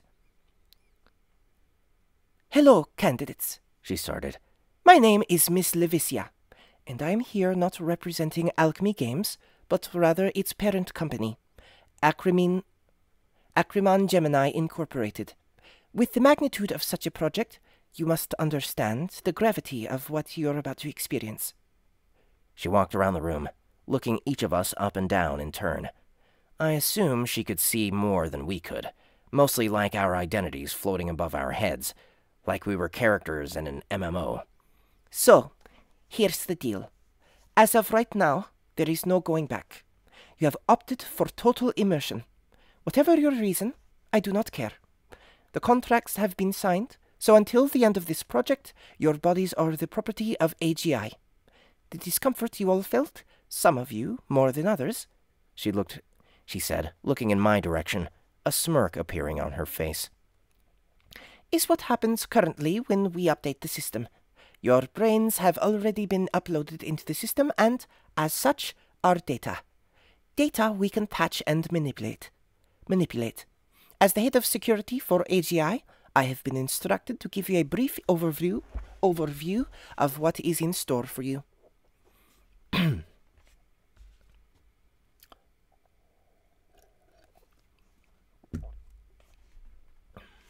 I sat up, listening intently. This woman was all business, and the fact she let us know we were already past the point of no return was disconcerting. I mean, I was in this for the long run regardless, even with the discomfort of patching, but to be told we were just code? Property? Looking around at the others, I guessed from their basic body language that many were having second thoughts. However, if they were distracted and I paid attention, that could give me an edge in the game. You are about to enter a project currently referred to in to in-house as Gameframe Online. I believe the developers at Alchemy are leaning towards a commercial game of global Technoplex Fantasia Online. Excuse me. At that, I burst out into synthetic laughter. She whipped her head around and glared at me. Something funny? she asked. You really want to name a game you upload your consciousness into GTFO? That's a marketing nightmare to have to begin with. She smiled and then raised a hand. Remind me we need to talk one on one after the overview. I gulped, even though I didn't need to. She continued. Gameframe Online is a central hub for a batch of new total immersion MMOs Alchemy Studios is currently developing. There are five currently available, and a sixth is in progress. You will be given a star rating upon defeat. That was too much of a roll. You will be giving a star rating. I can't help it. It's two R's. Upon defeating the current final boss for each game. There are three stars available to dictate your mastery. When you three star all five live worlds, you will gain access to the sixth when it is ready to be published. With that, a door appeared at her side. It was more of an arc of light with a liquid curtain like surface to it. It peeled back and showed a star field extending into infinity with a single golden path. The project will terminate when the first player completes the sixth game with a three star rating. At that point, you will be given the option to remain inside or return your bodies. However, as motivation to be the first one to finish, AGI will award that player $100 million. One of the others raised their hand, and Ms. Lavicia gestured them to speak. So, you're keeping our bodies hostage? I thought this was just a game for fun. I mean, yeah, I quit my job because of this opportunity, but I thought I'd be in for maybe, you know, a couple weeks or a month or something. I had no idea I'd be signing up for this. Also, how can a game company afford to give a $100 million prize for beating a beta test? Miss Lavicia smiled. It's more compensation for what we'll be doing with your bodies in the interim. After all, they are AGI property now. The technology needed to transplant a human mind into a computer has enough scientific and medical uses that we're certain the prize will be a drop in the bucket compared to what we what it will earn us. I had to admit, I felt like I made a deal with the devil and she wore a black suit. Ms. Levicia jerked a thumb at the portal. This concludes your overview. Everyone in. Okay, there's a train. I'm gonna close it for a little bit. How much more we got here? Before the chapters. Okay, it looks like I'm gonna have to stop mid chapter because it's a super long chapter.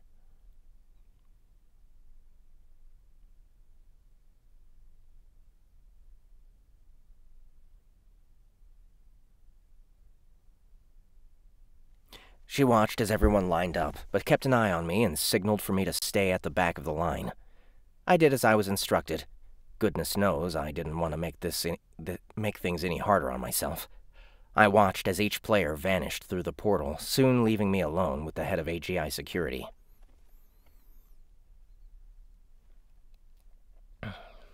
I'm letting you know, she said, that while I find your decision to do this foolish, I can't help but respect you considering your condition. That's one of the last things you need to know about me. I'm dying. It was the selling point for me choosing to go on this little adventure. I got uploaded into a system, and doctors could have their way with trying to figure out how to fix me without me having to actually go through the torturous ordeal of months in a hospital. The hundred million would come in handy for my future if I actually had one. The downside to all of this was if my body died, I was stuck in the system forever. Don't get me wrong, I know no games last forever. No game lasts forever, but I've never been one to, to believe in an afterlife. If my body was going to go within a couple of months, as far as the doctors thought, having some additional time killing goblins seemed like the thing to do, rather than suffer through surgeries. She looked at me as if she were reading me like a book. I had no idea what sort of information she could see, considering the body I was currently in couldn't actually emote very well.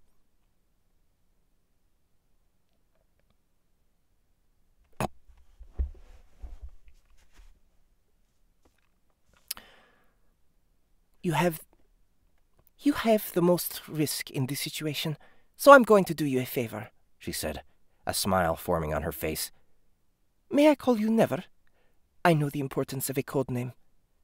Please, and what sort of fa- and what sort of favor? You see, never. There's a mechanic I'll let you know about. You'll be allowed to prestige when you hit the final level. Prestige? What, like one of those idle online clicker games? You sort of start over, but you get some inherent bonus your second playthrough? She nodded. Don't worry, she said. All the achievements are locked. Once you've completed one, it's yours forever. However, they are locked to whatever level you achieve them at. Let's say there's an achievement for killing 1,000 goblins, and you get this at level 30. I nodded. The bonuses lock once the bonuses lock once you hit level 30 on your second playthrough. However, if you should happen to kill 1000 goblins by level 10 on your second playthrough, that resets where it is. So every subsequent playthrough, you get to get that bonus much earlier. I blinked. Was she saying what I think she was saying? Are you telling me that achievements unlock stat bonuses for your character? She nodded. Frankly, never. I couldn't give a damn about this or any other video game, but your profile got me interested in you, and as such, I did a little research on. I did a little research onto. I did a little research. I did a little research into what you're known for and thought you might find that in. Oh my god. I did a little research. Little. I did a little research into what you're known for and thought you might find that interesting. This was a game changer that would affect my long term gameplay. If I was going to do my kill hunting, I had to do it as low level as possible, making it much more challenging but I had to get those bonuses as early as I possibly could. So, Miss Levicia, anything else I should know? Only that the five games... Only that the five games have the same level and prestige system. The inherent bonuses from completing achievements are copied to your core background, not just, not just the character in your game. When you finish one game and start another, you may notice certain boosts when you level up. This was a secret I would keep close to my chest for as long as possible. Oh, and Mr. Fuller, she mused, reverting to my actual name as I walked toward the portal. I've been informed that every game has a few unique stats and traits, and only through the prestige system will you even get bonuses in those stats when you cross over games. So, if I go to a fantasy game, so if I go to a fantasy game and get a ton of strength boosts, I can Hulk out in your sci-fi game? She nodded, and with a snap of her fingers, disappeared from view instantly. Developer logout, I guessed. The corners of the room started to go dark and move in. I could tell that the room was beginning to de-res. Fine, fine, fine, I said. I'm heading out. As I did, a massive tower rose in the distance. The floor I stood on disappeared beneath me as I was levitated far above the ground. In the center was the spire, and around it were five segments of land that fit poorly together, like some mixed-up jigsaw puzzle piece like some mixed-up jigsaw puzzle pieces trying to form a pentacle. The first one that took my eye was a place of trees, small wooden and stone hovels. I could see motes of magic floating in the air, this was the high fantasy game, to be sure. Going clockwise, I saw the bridge of a starship with an alien with alien races running about, so I could add sci-fi spacefaring to the mix, the standards of the industry present and accounted for. To the right of that, I saw a modern-day metropolis full of flying heroes, all in unique spandex costumes. A superhero MMO? Color me surprised. They don't really make those anymore and the few that do never live up to the legends the founding games in the genre had laid the foundation for. The fourth game grabbed my attention. I couldn't tell if it was set in the Victorian era, era or modern day with a gothic twist, but it was certainly Lovecraftian. I saw a back alley with creepy crawly tendrils and things seeping into the world that should not be there. Finally, I saw what appeared to be some sort of pastiche of steampunk and dieselpunk. A neo-noir, I thought, but upon closer inspection, the figures in trench coats and fedoras all had pointed ears. So, steampunk detectives with elves? It was something I was interested to play, but I'd have to go through the bad games first. Well, I'm certain they weren't bad games. Alchemy knows what they're doing, but I want to get those bonuses to become a god.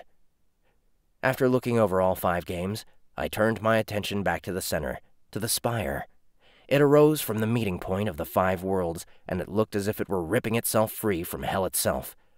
I've heard of games that have a nightmare, inferno, or hell mode as its final challenge, but it looked like their ultimate game involved fighting demons and goodness knows what else.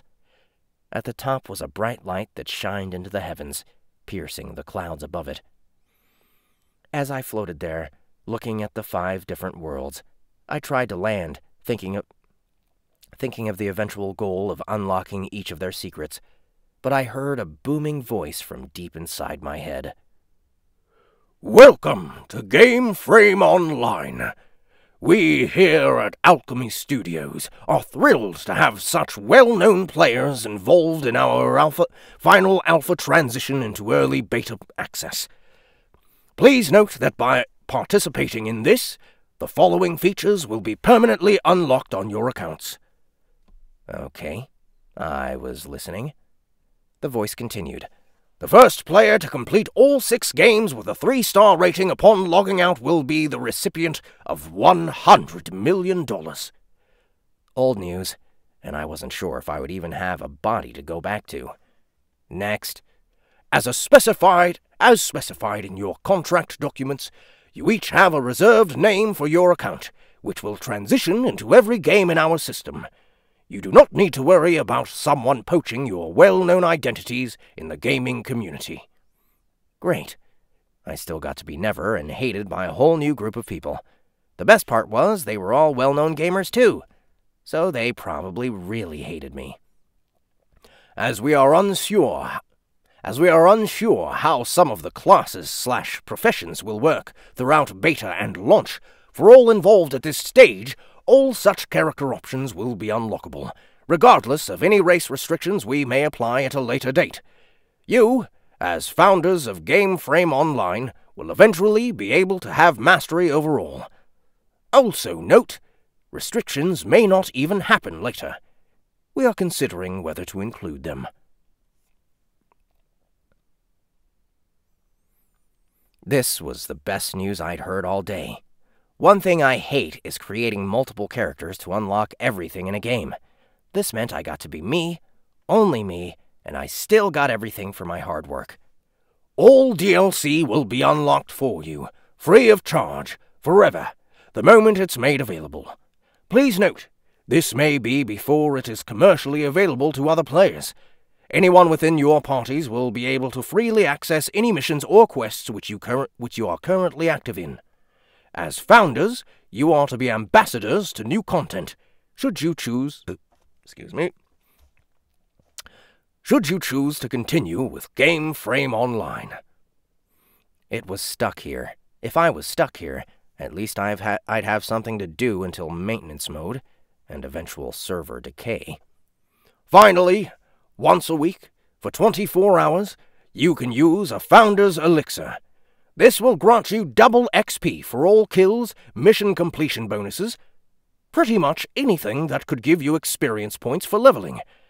As a side note, if you have XP turned off to boost crafting or any skill and weapon proficiencies, this will act as a secondary multiplier, resulting in quadruple XP for those. This was epic. It was a mechanic I hadn't seen in years. Most people are so obsessed with getting to the final level, they rush through everything. What this allowed me to do was stay at much lower level and level up my proficiencies. I was definitely thinking of taking the high fantasy game, the first one I'd seen. I wasn't a huge fan of high fantasy games, but they were generally easy and straightforward, unbelievably popular, and due to that, would have a hell of a lot of easily unattainable easily attainable achievements and skill sets I could use in the later games. Uh, we're almost done. No, okay. The voice continued. Now then, Founder, choose your first world. Please understand you will be locked in until you complete the quests therein and have achieved at least a one-star rating in that game. Only then will you be able to log out and select a new one which you will then be locked into under the same conditions. This is a final reminder. Any games without at least one star a one star rating are unable to be logged out from to select another game. Where you choose next will likely be your home for the coming weeks, possibly months. Okay, I'm going to stop right there. So, this is an interesting concept. Thanks again, AJ Mayall, for requesting. Uh, if you want me to continue this one, I'm totally willing to uh, go a little bit further on, on, a second request. So be sure to do that once once uh, Danny Katz gets the new uh, request thread poll up. Um, that's on Royal Road, guys, so go check it out if that sounded interesting to you. And on to our last request for tonight. And by the way, tonight is the last night that I'm going to be doing four requests. Um, I think that three requests is probably going to be my limit from now on, just for time's sake, and so I don't take up all the requests um, that that are available. But here is our last one. It is Office Wars by James G. Patton. Um, so this one seems like quite a twist on the lit RPG genre because it's like more of a well, I'm not exactly sure, but it seems more like a kind of a Sims type of game. So let's see how it goes. No, that's not it.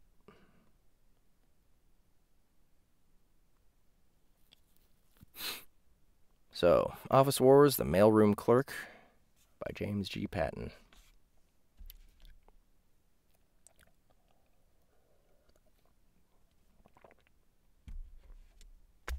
Okay. I'm not sure. Okay, let, us see here. System. Okay, so he's got a bunch of tower climber. Yes, voting is important for this show. We want to get more audience engagement. So whenever you guys whenever you guys request something, tell people. Tell people you requested here. Tell them to come out, come to the Soundbooth Theater Live uh, Facebook uh, page, group, Facebook group, Facebook group, and tell them to vote for you so that you're for sure going to be on the next requests only. Oh, uh, James G. Patton is here. What's up, James or Gabe? I guess your real name's Gabe. James is your pen name. Um, and uh, so, yeah, you vote. First of all, if if you request, you need to add it in the poll. Um, Danny's going. If if you don't do it, Danny might do it. He might catch it. He might not. So don't depend on him to catch it, because your vote counts, but Danny's vote doesn't count.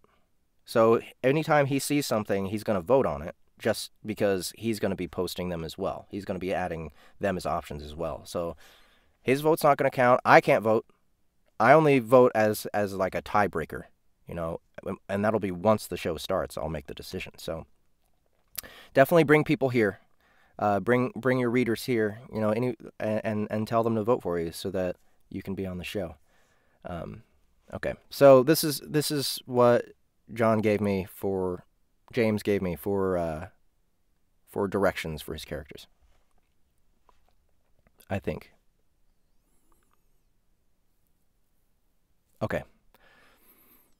So, system, or whatever he calls it, a chime followed by an Alexa type voice. At least in my head, that is what I hear.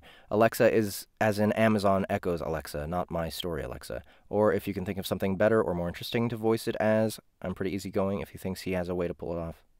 Oh, okay. Okay, this is okay. This is all right. Danny wrote this up. Uh, he's okay. So what the author actually said, I'm pretty easygoing. If he thinks he has a way to pull it off, especially since the AIs in my books are smartasses, I'm willing to work with it. Like a GLaDOS. like a like a GLaDOS from uh, from Portal. Onion. MC, also known as Bran outside of the game. Mostly a smartass that tries to stay out of the limelight, but his mouth and actions often get him mixed up in things. He tends to bring people together with humor and has a temper if people act like assholes to him or friends. Also tends to find humor in most situations, and when nervous, says crazy things before he realizes he's saying them. Okay. Fungi. Large man, red-headed... Large red-headed man. In the game, he chose a maintenance worker, and he likes to crack jokes and has a very affable attitude. Onion and Fungi hit it off right away. His voice in my head does have a kind of twang, but not to the point of being a cowboy, just not a city boy. Okay. I'll just be me for that guy. Zingo, refined and educated in attitude, very easygoing and will even crack a joke, but he almost has an OCD quality about him with his appearance.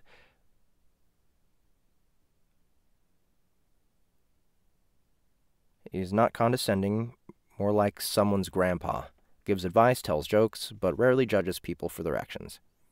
Alexa, taciturn. She rarely speaks, and when she does, it is to the point. I hear her in my head with a softer voice, but she is by no means shy or weak.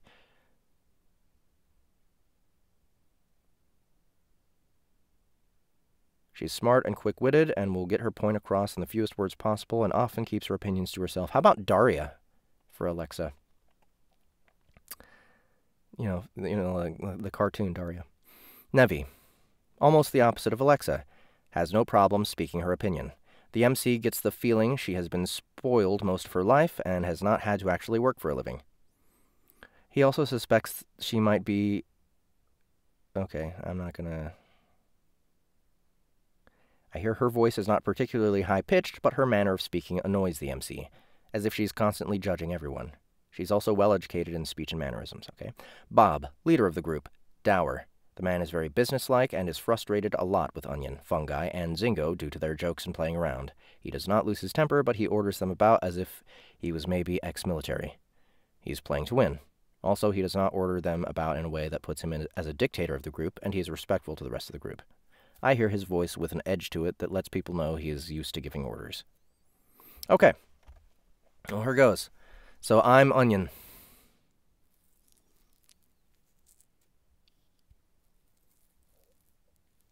Okay, I'm gonna be. I'm gonna use my Frank character.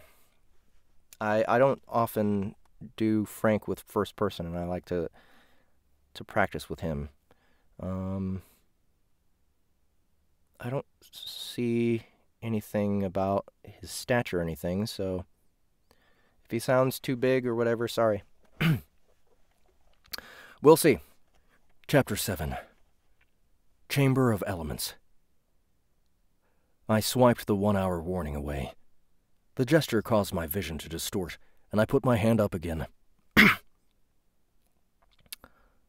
there it was again.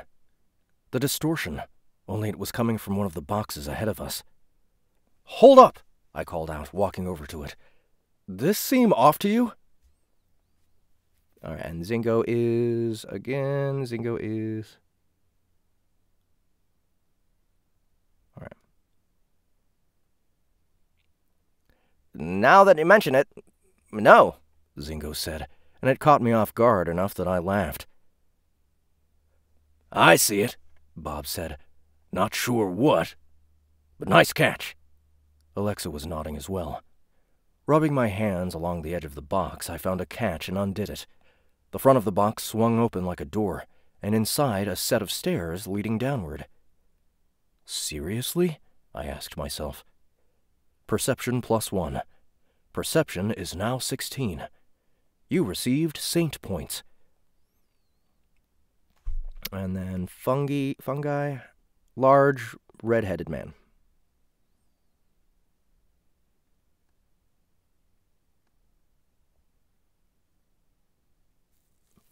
Uh, let's see. Uh, aren't we supposed to go up? Fungi, fungi asked. Yes, but that does not mean this is not a shortcut to that place, Bob said. Bob said, Vote. Do we continue onward or go down those steps? Vote now. Onward or downward? That was a tough choice because this looked like the kind of thing that could go either way. On the other hand, aimlessly wandering around was not helping us. I chose downward. It was a three to three tie.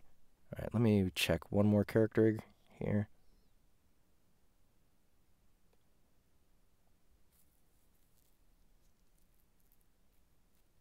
Oh, oh, okay. Never mind.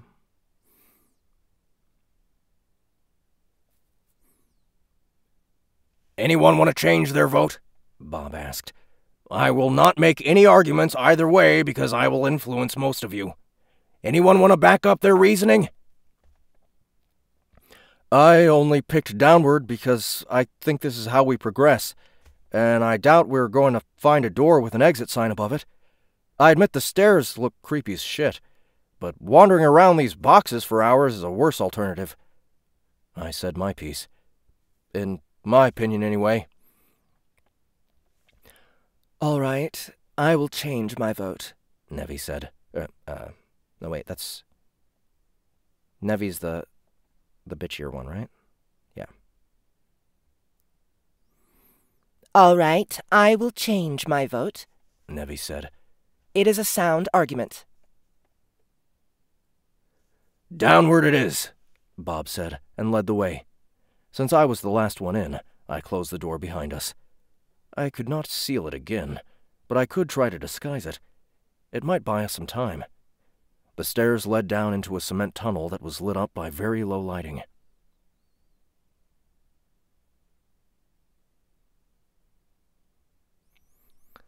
Uh,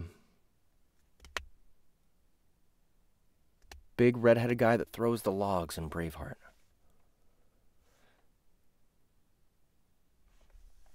Okay. I can't remember what that guy sounds like. Sorry. Sorry, guys.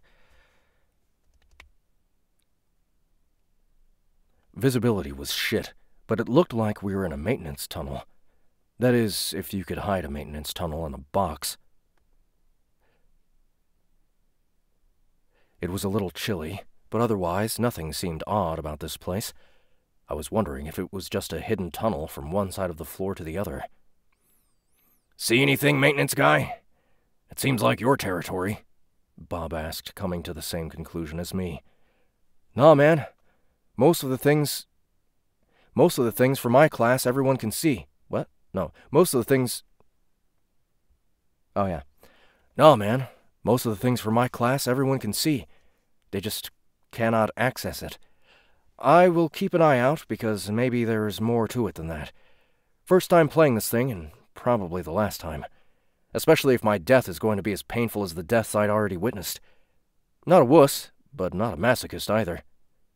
At some point, the tunnel opened up into a large square room. Bob hesitated to enter it, and some of the group crowded around to see into the chamber. What are we looking for? I asked Fungi, and the look on his face told me he almost shit himself.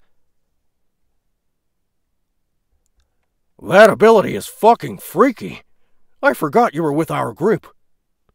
I forgot you were with our group. No joke.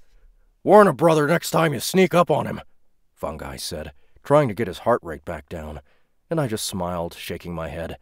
I was not sneaking. I walked right up in front of you, and your eyes darted all around me. Talk about freaky. Ever seen a person's eyes go in two different directions? Yours did. I said, smiling and slapping Fungi on the back. He was a likable guy, and I could appreciate a fellow smartass. Bob entered the room, but everyone else hung back. Okay, the IT girl, I guess that would be Alexa. Down, the IT girl said. Other than her name, I had not heard her talk. Bob ducked, and a jet of flame shot over his head. Whoa! That would have been bad. The second tile in there. Avoid it. Now that she pointed it out, I could see it slightly glowing in my sight. The titles were roughly two foot square. They did not stand out in any way that would have made it easy to avoid either.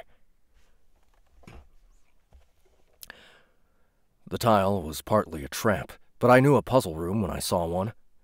But I knew a puzzle room when I saw one. Once we were in the room, we all saw the massive metal door on the other side of it. The door only confirmed my suspicion, because there was no obvious way to open it. Now what? Bob started to ask, as the door we entered through as the door we entered through started closing. Shit! It was too late, and the door slammed closed like the lid of a coffin. The door looked like the one on the other side of the room. Both were large and metal and looked airtight, like something I would see on a Navy ship. On the positive side, as soon as the door closed, the lights brightened, and then all was still. I moved slowly about the room, tapping tiles, hoping I had time to react. There was more to this room. I just knew it. A tile clicked underfoot, and a gust of air picked me up and threw me across the chamber. It happened so fast that I had no time to react. The hurricane, the hurricane like wind lessened the further I flew, and I found myself falling slower than I expected, until the wall stopped my momentum, and I dropped like a stone the rest of the way to the floor. The wall hurt like hell, and I slowly stood on my shaking legs. Fuck! That scared the hell out of me! Checking my stats, I saw that I only took a few points of damage, but damn, I was still shaking with fear.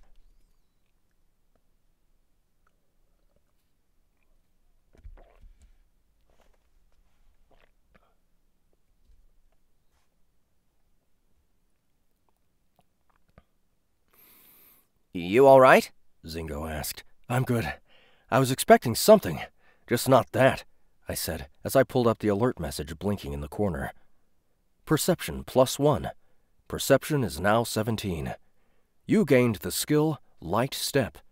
Rewarded, rewarded for crossing a room without your feet making a sound.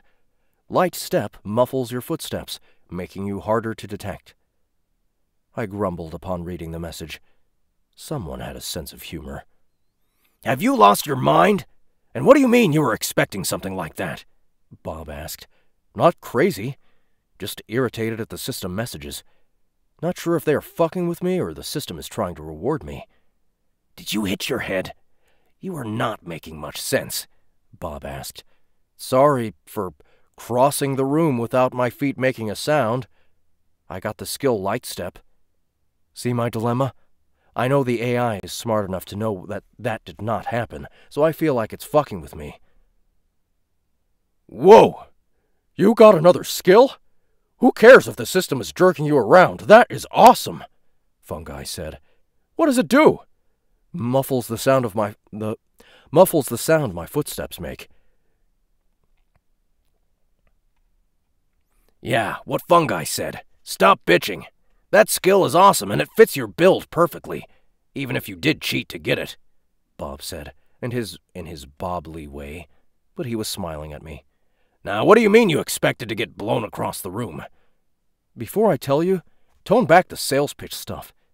It is screwing with me and makes me nauseous every time you use it, I explained to Bob. That is why I feel ill? Alexa asked. I haven't spoken much because I always feel like I'm going to vomit. I think so. Every time Bob reasons or does anything that tries to convince someone, I feel it. So, if I'm not feeling it, does that mean he has persuaded me? Fungi asked. That is so messed up. Perception is only part of it. Bob cannot convince you to go against your nature. So he could talk you into walking down a hallway, making a trade, but if you strongly disagree with whatever he tells you, then it will not work. Okay, enough. Onion, explain what is going on. It is a puzzle room, but not sure yet how it works. However, that was fire. That is air, so I would guess there are two more pressure plates for water and earth, I speculated. Look at this. It is a symbol of some sort, Zingo said. While we were talking, he had moved over to the other's, other door and was rubbing his fingers against an etching of some sort. Steam. This door needs to needs steam to open. Then we need to find water, Bob said. Thanks, Captain Bobvious, Fungi said, and I found myself chuckling, even gave him a fist bump. Wait, we better get this right, or I am pretty sure we are going to suffocate. That door sealed tight behind us. Fire is going to burn up our oxygen, and water is going to fill this place up. Steam might burn all of us. Big burly Scottish accent? I'll try it.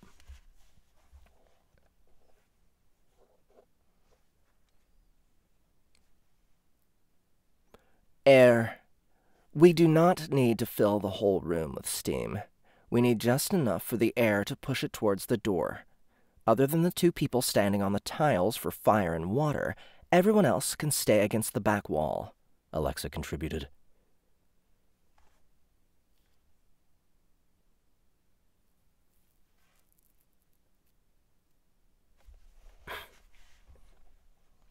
Um,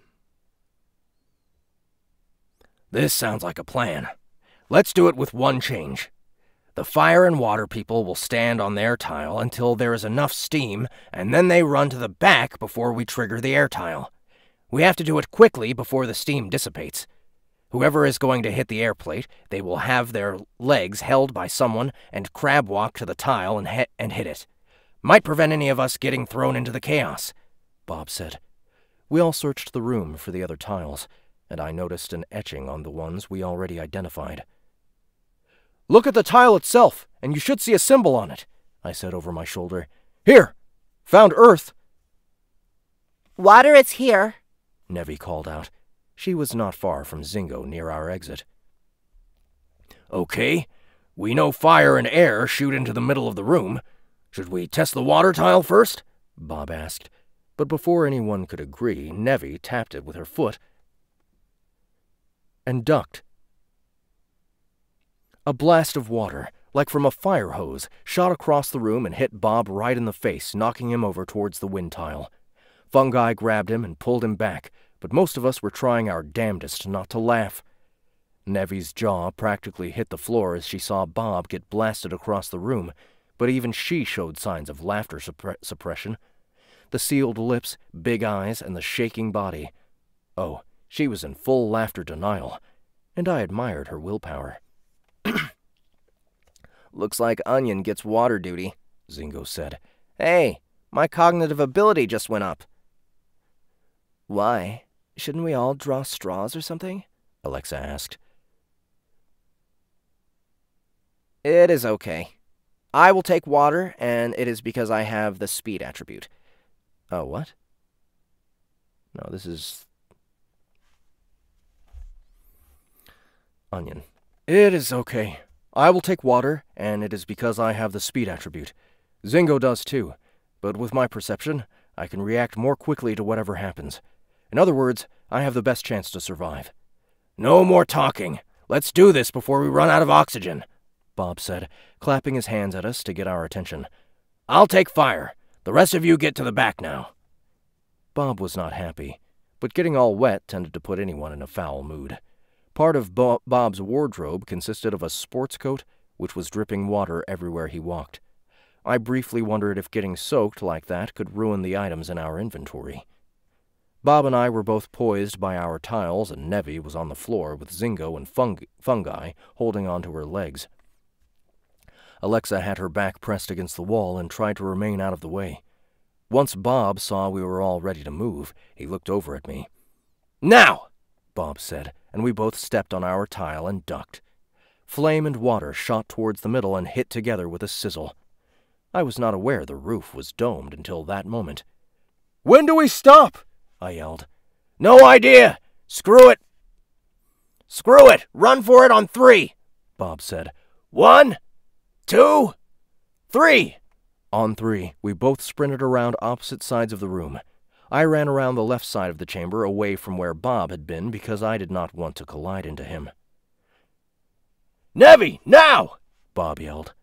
My legs moved with wild abandon, and I careened so fast towards the back wall I was afraid I would not be able to stop.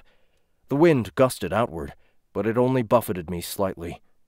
Speed plus one. Speed is now 15. Nice! I was hoping for that attribute to go up.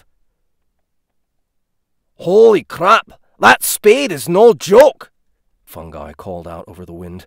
If I get invited back if I get invited back next year, I am taking a speed class. Thought you weren't playing again? I asked, giving him shit. Changed my mind. The game is kind of fun. As the wind died down, we heard a loud clinking sound. A few pings came next, like a ball peen hammer hitting metal. As we watched, the metal door of our exit started to fall into the room, and as it picked up momentum, I braced for the impact. The, the fat bastard. the door slammed onto the ground with such force I felt my teeth rattle. That part was bad enough, but it landed on the water tile and water shot across the room. The sounds started repeating, but they were coming from the door we entered through. The door near the fire tile. We looked at each other, and without saying a word, we all sprinted for the exit. yeah, that was fun with the with the Scottish accent. All right, cool. That was Office Wars, the mailroom clerk. Thanks again, James Patton, for requesting that one. It was fun. I like I like the the different setting, the more uh, I don't know arcadey video game feel to it. Um, but anyway, that was Soundbooth Theater Live, requests only. My friends, thank you so much for attending. Thank you so much for everybody who requested. Um, if you want I eat because I'm unhappy. And I'm unhappy because I eat. Get in my belly. Oh man. Okay, so uh so yeah, if you want to request something else, if you want to request something else from from your book, uh keep an eye out on uh on Soundbooth Theater Live. I think probably maybe Danny can start the new thread right after this uh, the new the new poll, and um, uh, we'll get your requests on there, and then get the poll going, and then you can invite all of your people who who read your books over to. Oh man, Katy Katy Perry versus Jason is over. That one's done. Um, it was it was very short, very very good, amazing literature. Um, so yeah, uh, keep an eye out for that thread. Also, I hope uh, I, I hope I hope we kept track of who to give free audiobooks to. Um, don't forget to go check out Hero of, Thera and Everrealm. Um, we haven't decided the new time. Um, I think, let's see, I'm not sure. Maybe this Wednesday. Okay, so the next Soundbooth Theater Live is gonna be a surprise. Okay, it's gonna it's gonna be the day that Harmon Cooper's new surprise book is coming out. Um, I'm gonna be doing the Soundbooth Theater Live that day, so keep an eye out for when that happens. Um, but uh, we're we're still trying to figure out exactly what is the best time to do Soundbooth Theater Live. So again, uh, there's another poll there on the Facebook group, so go check that out. Go go look at that poll, and uh, if neither of the times that are on the poll look good to you, add another add another option. But we need more more uh, viewer feedback to know what what a good time is. I mean, it's looking like people are preferring the Wednesdays, but there I mean like it's a pretty close vote right now. So please uh please invite more people to the Facebook group to get more um get get get more, you know, interaction. We we need a we need the audience to grow so that we get uh more feedback from people and so that each of these episodes has more impact for all the authors who request their stuff. Because, you know, what I really want for this show to develop into is kind of just a way for uh, authors who I haven't worked with yet or um, authors who I am working with and whose stuff I'm producing. Um, uh, uh, just just a way for us to have fun promoting things for, for authors.